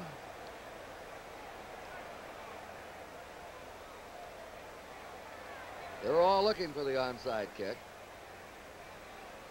Talking about those hostages, illegal procedure against the Eagles. Free kick, five-yard penalty. After one of the clergymen who had visited Tehran on Christmas stated that some of the hostages brought up the fact they were very surprised about Tampa Bay being in the playoffs. An international operator called the Tampa Bay office. The operator gave a number so that the result of today's game can be phoned to Tehran. And the Tampa Bay Buccaneers slogan this week is win one for the hostages. All right. Kick again, and Tampa Bay still has nine men up front. And they boot it again, and this one is recovered by Tony Davis. He has the ball on the 48-yard line. Tony Davis recovers the onside kick. Tampa Bay has great field position with 3.25 to play. And they're leading by seven. Each team has committed only one turnover. Doug Williams has thrown one interception. No fumbles by Tampa Bay. It'll be interesting to see if Ricky Bell is going to break a record. Ricky Bell has uh, 35 carries. Playoff record is 37 carries by Larry McCutcheon against St. Louis, 1975. They're going to run a sweep to the left, I think, here. They run something left. That's Ricky Bell. He's just short of the 50-yard line. And now he has 36 carries. He is one away from the playoff record of tying. And the all-time record in a game, any NFL game, is 41 carries. Second down, eight for Tampa Bay, taking their time. They stop the clock. Uh, the Eagles have taken a timeout. All right, the Peach Bowl, Clemson, Baylor. Clemson, one of the top defensive teams, will take on Baylor. That's the 12th annual Peach Bowl live from Atlanta. Clemson's won eight, lost three. They beat Notre Dame, North Carolina, Georgia. Baylor's won seven and lost four. Among others, they defeated Texas A&M, Texas Tech, and SMU. The Peach Bowl on CBS Monday, 2.30 Eastern Time. The Eagles have 10 players 30 years or older. Tampa Bay has one. A veteran team against a young team. And, a, and somebody went out, I read in the paper, put $250 up on Tampa Bay to win the Super Bowl last summer. At 250 to 1 odds. See if we see Bell running right here. Bell's right. He's down to the 45. Still going. He's to the 43. And he has tied an all-time NFL playoff record. He's carried the ball 37 times, tying Larry McCutcheon. You think he's going out in the town tonight? he's going. They better have a rocking chair for him in the locker room. He's going in that whirlpool for about four hours. Been a splendid player here today. Tampa Bay on the Philadelphia 43. Third down and a yard to go. Eagles ganged in there. One, two, three, four, five, a nine-man front. There's Rookie again. They slam him for a loss. He just broken the playoff record. John Bunting asked for a timeout. Rookie said, I'm too tired to get up. Claude Humphrey, the man that stopped him. And this puts the ball back to the 50-yard line and brings up a fourth down and eight yards to go and a punt formation. The time remaining is 2.21. But a new playoff record has been established by Ricky Bell today. They gave him the ball 38 times. And how he delivered and if they win this game, if they win this game, they'll probably give it to him one more time in the locker room. 142 yards, net yards, rushing for Ricky Bell. One timeout left for the Eagles. Of course, the two-minute warning will stop the clock. All right, if Tampa holds on to the lead, if Dallas beats the Rams tomorrow, the NFC Championship game will be in Dallas. If Los Angeles wins, look at that. 10 men up front to rush the kicker. If L.A. wins, the championship game will be played here. He gets it away. Wally Henry back on the 5, 10, 15, out of bounds on the 19-yard line. No way they were no way they're going to rush that kicker that time. They didn't want to take a chance of getting a penalty and then winding up giving the ball back to Tampa for the first and 10 situation. Eagles ball on their own 19-yard line, trailing by seven. Playoff record held by that man, Ricky Bell. He may not get a chance. 38 carries in the game, two touchdowns. With 38 carries today, NFL playoff record for carries in one game. And they can't say enough nice things about the young quarterback, Doug oh, Williams. Yeah. He, he has been game, sensational as a young player in a championship game. He's really been super. NFC has some good young quarterbacks coming along. That could help tip things in their favor two or three years from now. Here is Jaworski. Out he goes, and the ball is dropped by Montgomery. Clock stops at 2.05. Gary Danielson, Phil Simms.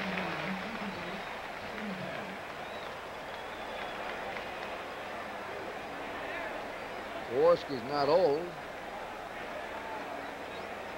Yeah, Jaworski is just coming into the prime years of his career. He's only 28 years old. Doug Williams, second year man.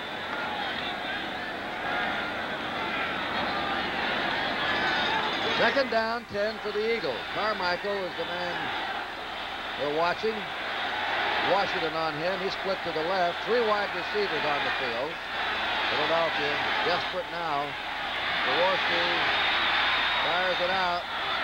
And catching the ball is Carmichael for a first down at the 34. He's caught three today. Two-minute warning. One for a touchdown. Washington saying something to him. All right. Another thing, Curt, you know, uh, the Eagles really did a good job of utilizing their timeouts when Tampa had possession. And uh, for that reason, they have plenty of time left with 159 left in this game with one more timeout left. We'll be back. Seven-point lead for Tampa Bay. Recently, a landmark football game was played. Landmark not because of the way it was played on the field, but because of the way it was played on TV. You see, this was the country's first network telecast transmitted over cables made up of hair-thin optical fibers. Cables which will eventually carry thousands of times more information without taking up any more space. G? No, GTE. Ring in the holidays. Ring out the year. Sparkling with Andre. Love and good cheer. Take Andre home for the holidays. Andre for the holidays. What's a celebration without Andre Champagne to lend sparkle and elegance to your good times? Greet the season and your friends with the best. Andre. For the holidays and all year long. Curt Gowdy and Hank Stram, just under two minutes to play. A 24-17 lead for Tampa Bay. They hold on, they'll go to the championship. Against either the Rams or the Cowboys.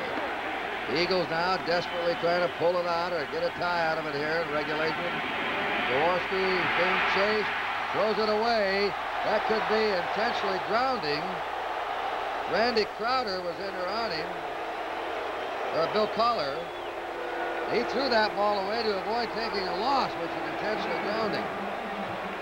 But they have ruled it an incomplete pass. That's strictly a judgment call, as I you know, on, is, yeah. on the part of the official, and evidently he felt that he was making an honest attempt to throw the ball to the outside receiver. Well, uh, some of it is a great pass rush by Bill Kollar. And and here again, it's incredible the kind of pressure that Tampa has put on the quarterback here this afternoon with only a three-man rush most of the time. Second down, 10. We said earlier, Tampa Bay led the league in the three most important defensive statistics. There he is. Nearly intercepted, but not quite. That could have been it.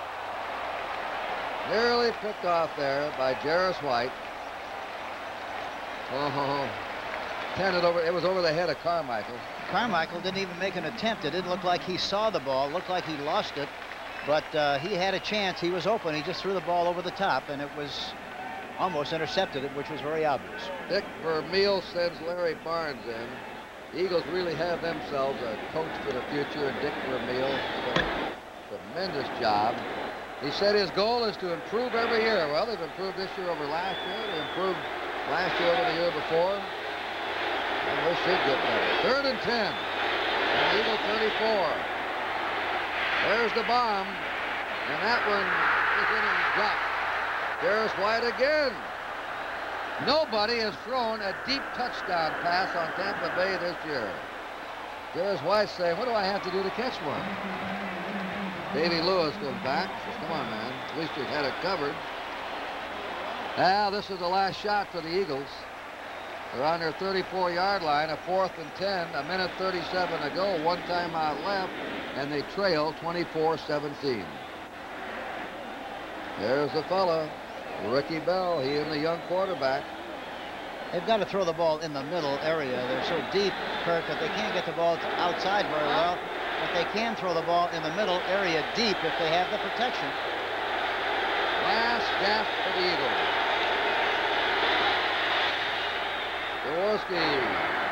A great catch by Carmichael. Fantastic catch. Twisting marvelous concentration and sure hands, and that keeps the Eagles alive. They have a first down. And a timeout taken by the Eagles. They stop the clock with a minute 30 to play. That's their last timeout. Chuck Will has been our producer today. Bob Daly, the director. Rick Sharp, the associate producer. Ray Savano, our field operations engineer. Jim Angeran, Bob Burnham, the technical director. A.J. Galino, Bob Cedarman, Ed Ambrosini, on we go, the technical supervisor. Joe Peterson, production supervisor. Fans on their feet. Last play was called back. Now they won.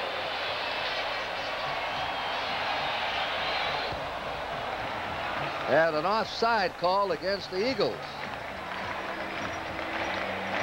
So that makes it now fourth and 15. Now Carmichael probably made the catch of the day and it was wiped out. Minute 30 to go. The Eagles have six players chosen for the Pro Bowl. Carmichael, Stan Walters the tackle, Sizemore the offensive tackle, Wilbert Montgomery a running back, Charlie Johnson the nose tackle, and Wally Henry for punt kickoff return. They had second to Dallas. Dallas had seven chosen to represent the National Conference in the Pro Bowl. The Bucks had only one player, Leroy Selmon, the defensive end. The league leader in Pro Bowl picks from one team, the Pittsburgh Steelers, who had 10 players selected, including eight starters. And don't forget, New Orleans Saints had five.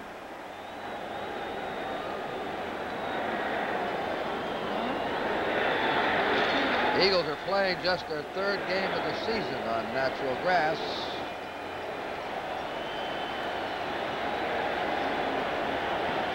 Well, here again, they've got to try to get the ball inside some way to get the 15 yards. They're not going to get it on the outside unless somebody slips and falls. But as deep as they're going to be playing, there's a chance that they could get the ball to the inside area of the field, inside the numbers, some way. John McKay took over a tattered USC football program in 1960. Three years later, had a national championship. In four years, he built Tampa Bay into a winner. Fourth and 15.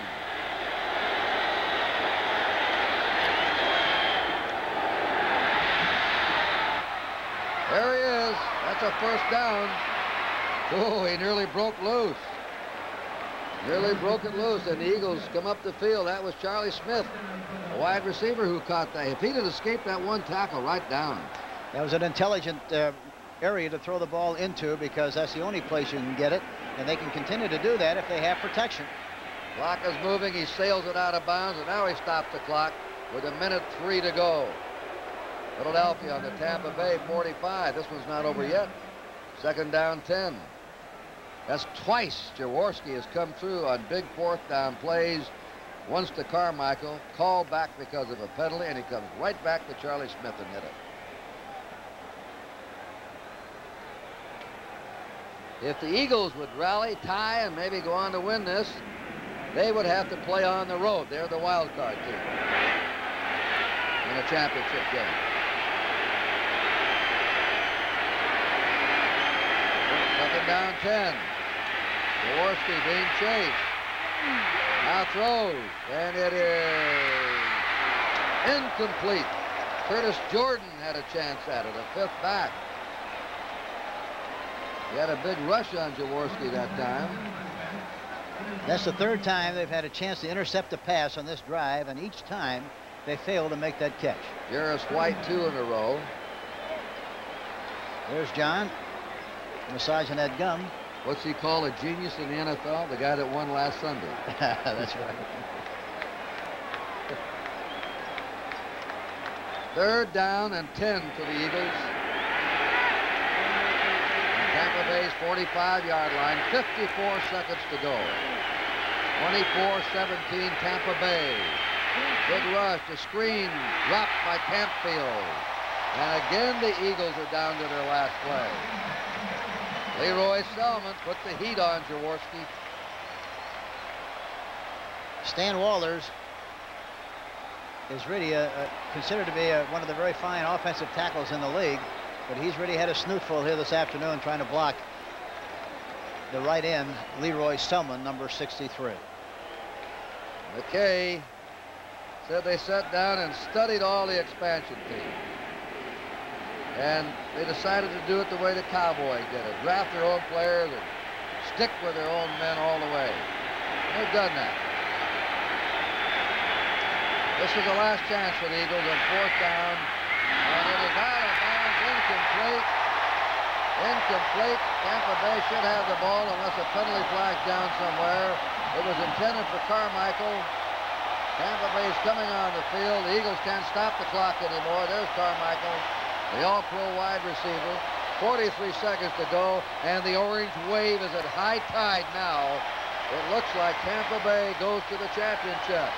What an underdog. What would you have done in August? You would have said Tampa Bay will play for the National Football Championship. An incredible story, much like the miracle Mets of 1969 in baseball. All they have to do is hold. They're in the shotgun. Sort of a shotgun. They got a deep back. Doug Williams falls in the ball. Oh. Thanks, Bill Bergey.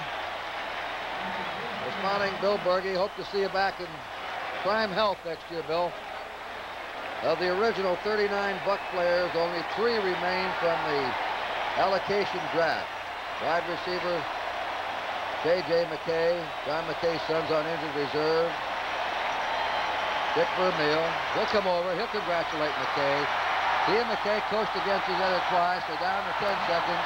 Players congratulating. Look at Doug Williams. He'll be the youngest quarterback, only the first quarterback with two years experience to go into a championship game.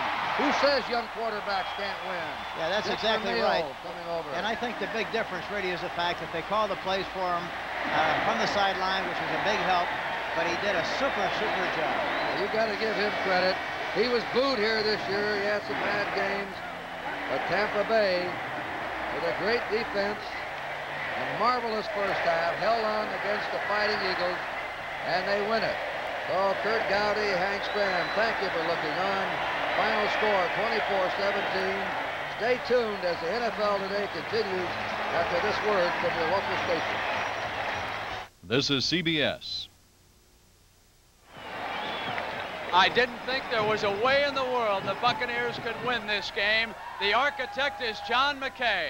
Let's go to John, who's with Irv Cross right now. Irv? Get them all together, David. Get them all together. Red, Coach McKay down here is giving instructions to his ball club. He hasn't had a chance to talk to them yet. You have to be the happiest man here in Tampa Bay, Coach. Well, I am. I'm happy for our team. They played well, and Philadelphia played well, and we, we outlasted them, I guess, Irv. Apparently you knew something nobody else did. Earlier in the week, you said uh, it may be a low-scoring game, we're going to win it. Uh, why did you feel so confident coming into this game? Well, I thought we could run on them, and, and, and we did run on them. Bell had a magnificent day, and uh, we got a few injuries. Our offensive line had to take some people out, but I thought we could maintain the ball, and Philadelphia played well, and as the guy said, we played a little bit better.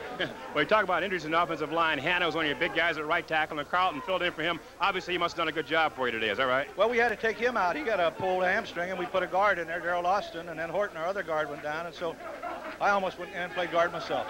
you know, the Eagles have had a lot of success during the season containing opponents. You ran well to the outside. How were you able to break down their defense? Well, I think we got good speed outside, uh, and we're not uh, all inspiring inside. We run enough inside, but our main idea is, is to try to get outside of your uh, perimeter and, and put the pressure on them. And I think Williams, with the exception of one pass, did a mar marvelous job for us that allowed us to do other things. Coach, congratulations. 24-17. The Tampa Bay Buccaneers now take a next step to the playoffs. Let's go back to Brent Musburger. All right, Irv, thank you very much. If Los Angeles upsets Dallas tomorrow, the championship game will be in Tampa. If the Cowboys win, then it would be in Dallas. Speaking of Dallas, let's go now live to Dick Stockton. Dick? All right, Brent, and uh, I'm sitting in the place that you people will be in tomorrow. The Los Angeles Rams are working out right now. It's an overcast day. We'll have a preview of the Rams-Cowboys game on our special holiday edition of the Sports Spectacular coming right up. Man's attempt to break the speed of sound. A salute to Kurt Thomas and the World Ice Skating Championships all coming up in a big show in just a while, Brent. All right, Dick, thank you very much. Irv Cross is back down in the Buccaneers locker room. Doug Williams was standing by with him. Let's go back down to Irv. Thanks a lot, Brent. And again, another happy man here who felt he had something to prove today, and I guess you showed the whole country you can play quarterback, hey, Doug? Yeah, you know, I had some pretty bad weeks in the following week, but this one week everybody relaxed and just took it to them. You know, the first half, you were just red hot. Everybody felt that your pass completion percentage was low, you wouldn't hit as many passes as you did. You know, why did you connect so often today? Well, first of all, the offensive line gave me great protection, and the receivers running great route, you know, so it, they made it pretty easy for me. Did you learn anything by watching Chicago Bear film against that Eagle defense? You guys just seemed to rip them apart in that first half. Well, one thing, you know, I don't think they played us like they played Chicago, you know, because the fact, I guess they were thinking about the long pass more today than it was the pass underneath, and the pass that we really completed was the ones underneath. Of course, he made some key plays going in. He had option plays rolling out. He either run or throw near the goal line. He made a couple of crucial first downs. You like to run the ball in that situation? Well, you know, Coach McKay is from the old school, and he believes in his quarterback running. So, um, not the fact that I'm a running back, but in the situation that I ran, everything was wide open, so why not take the chance? Doug, how much control do you have of the offense? Coach McKay sends all the plays in. Can you audibilize and pick your plays as line of scrimmage? Well, yeah, he he's sending plays in, you know, but the defense, if it's another defense that we really don't like and we don't expect the play to go, you know, I can either all of it to a pass or run, either one I want to. Doug, thanks very much. Congratulations. I want to tell you something. Jayne Kennedy told me to say hello. Okay, tell I say hi. Brent? All right, Irv, thank you very much. And the main man for Doug was Ricky Bell. We'll track him down. And the NFL today will continue on CBS in just a moment.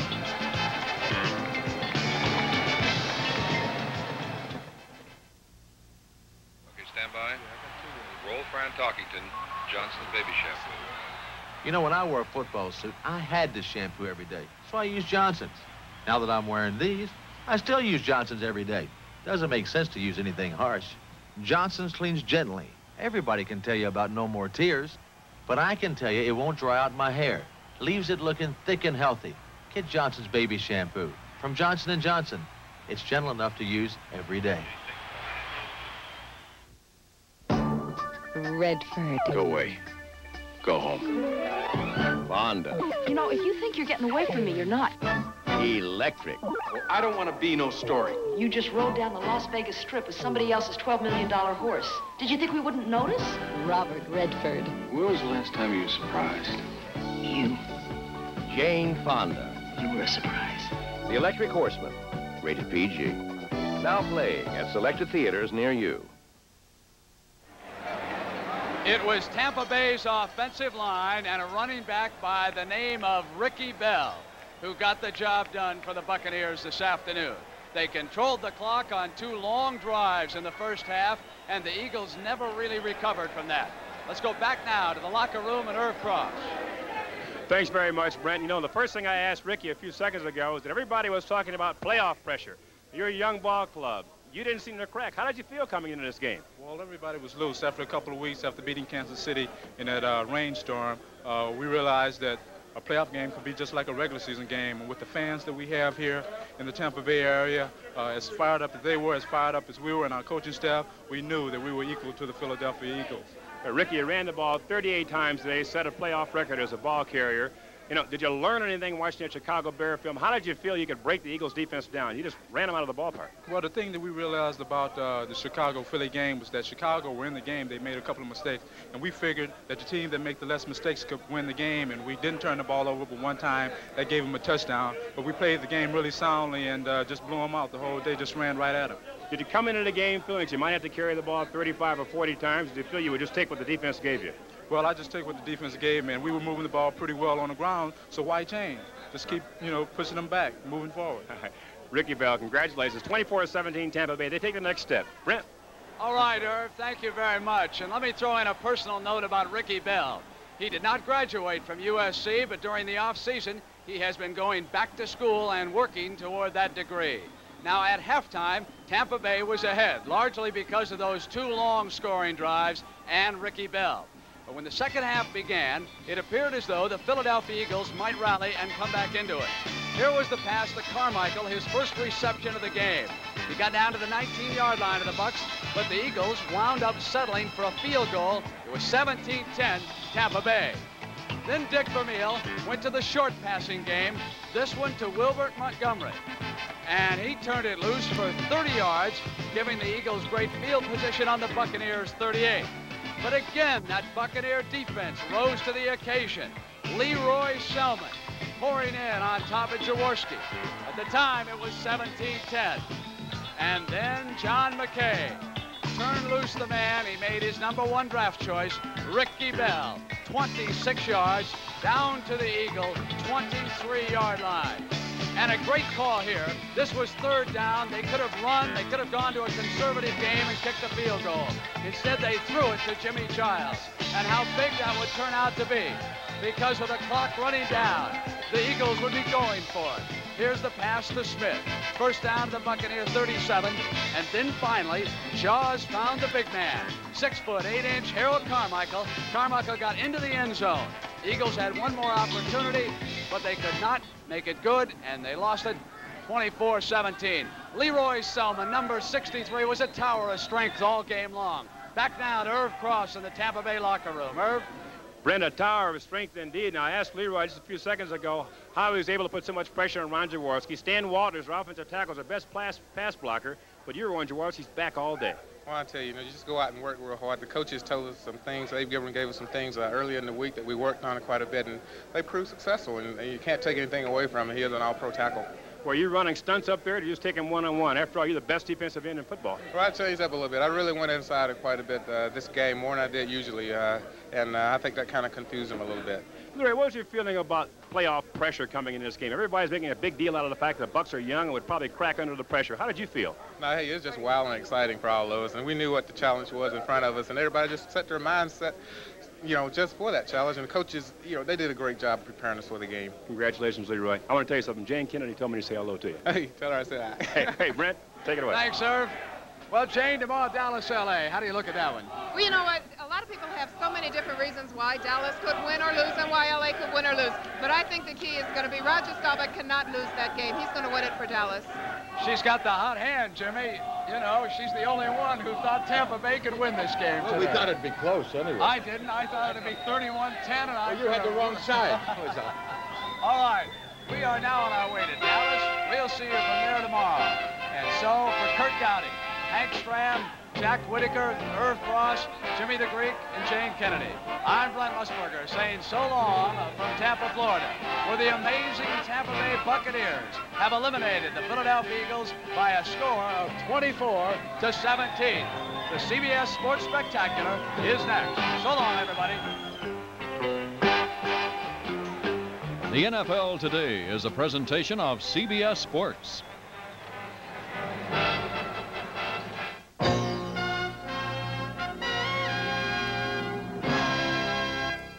This is CBS.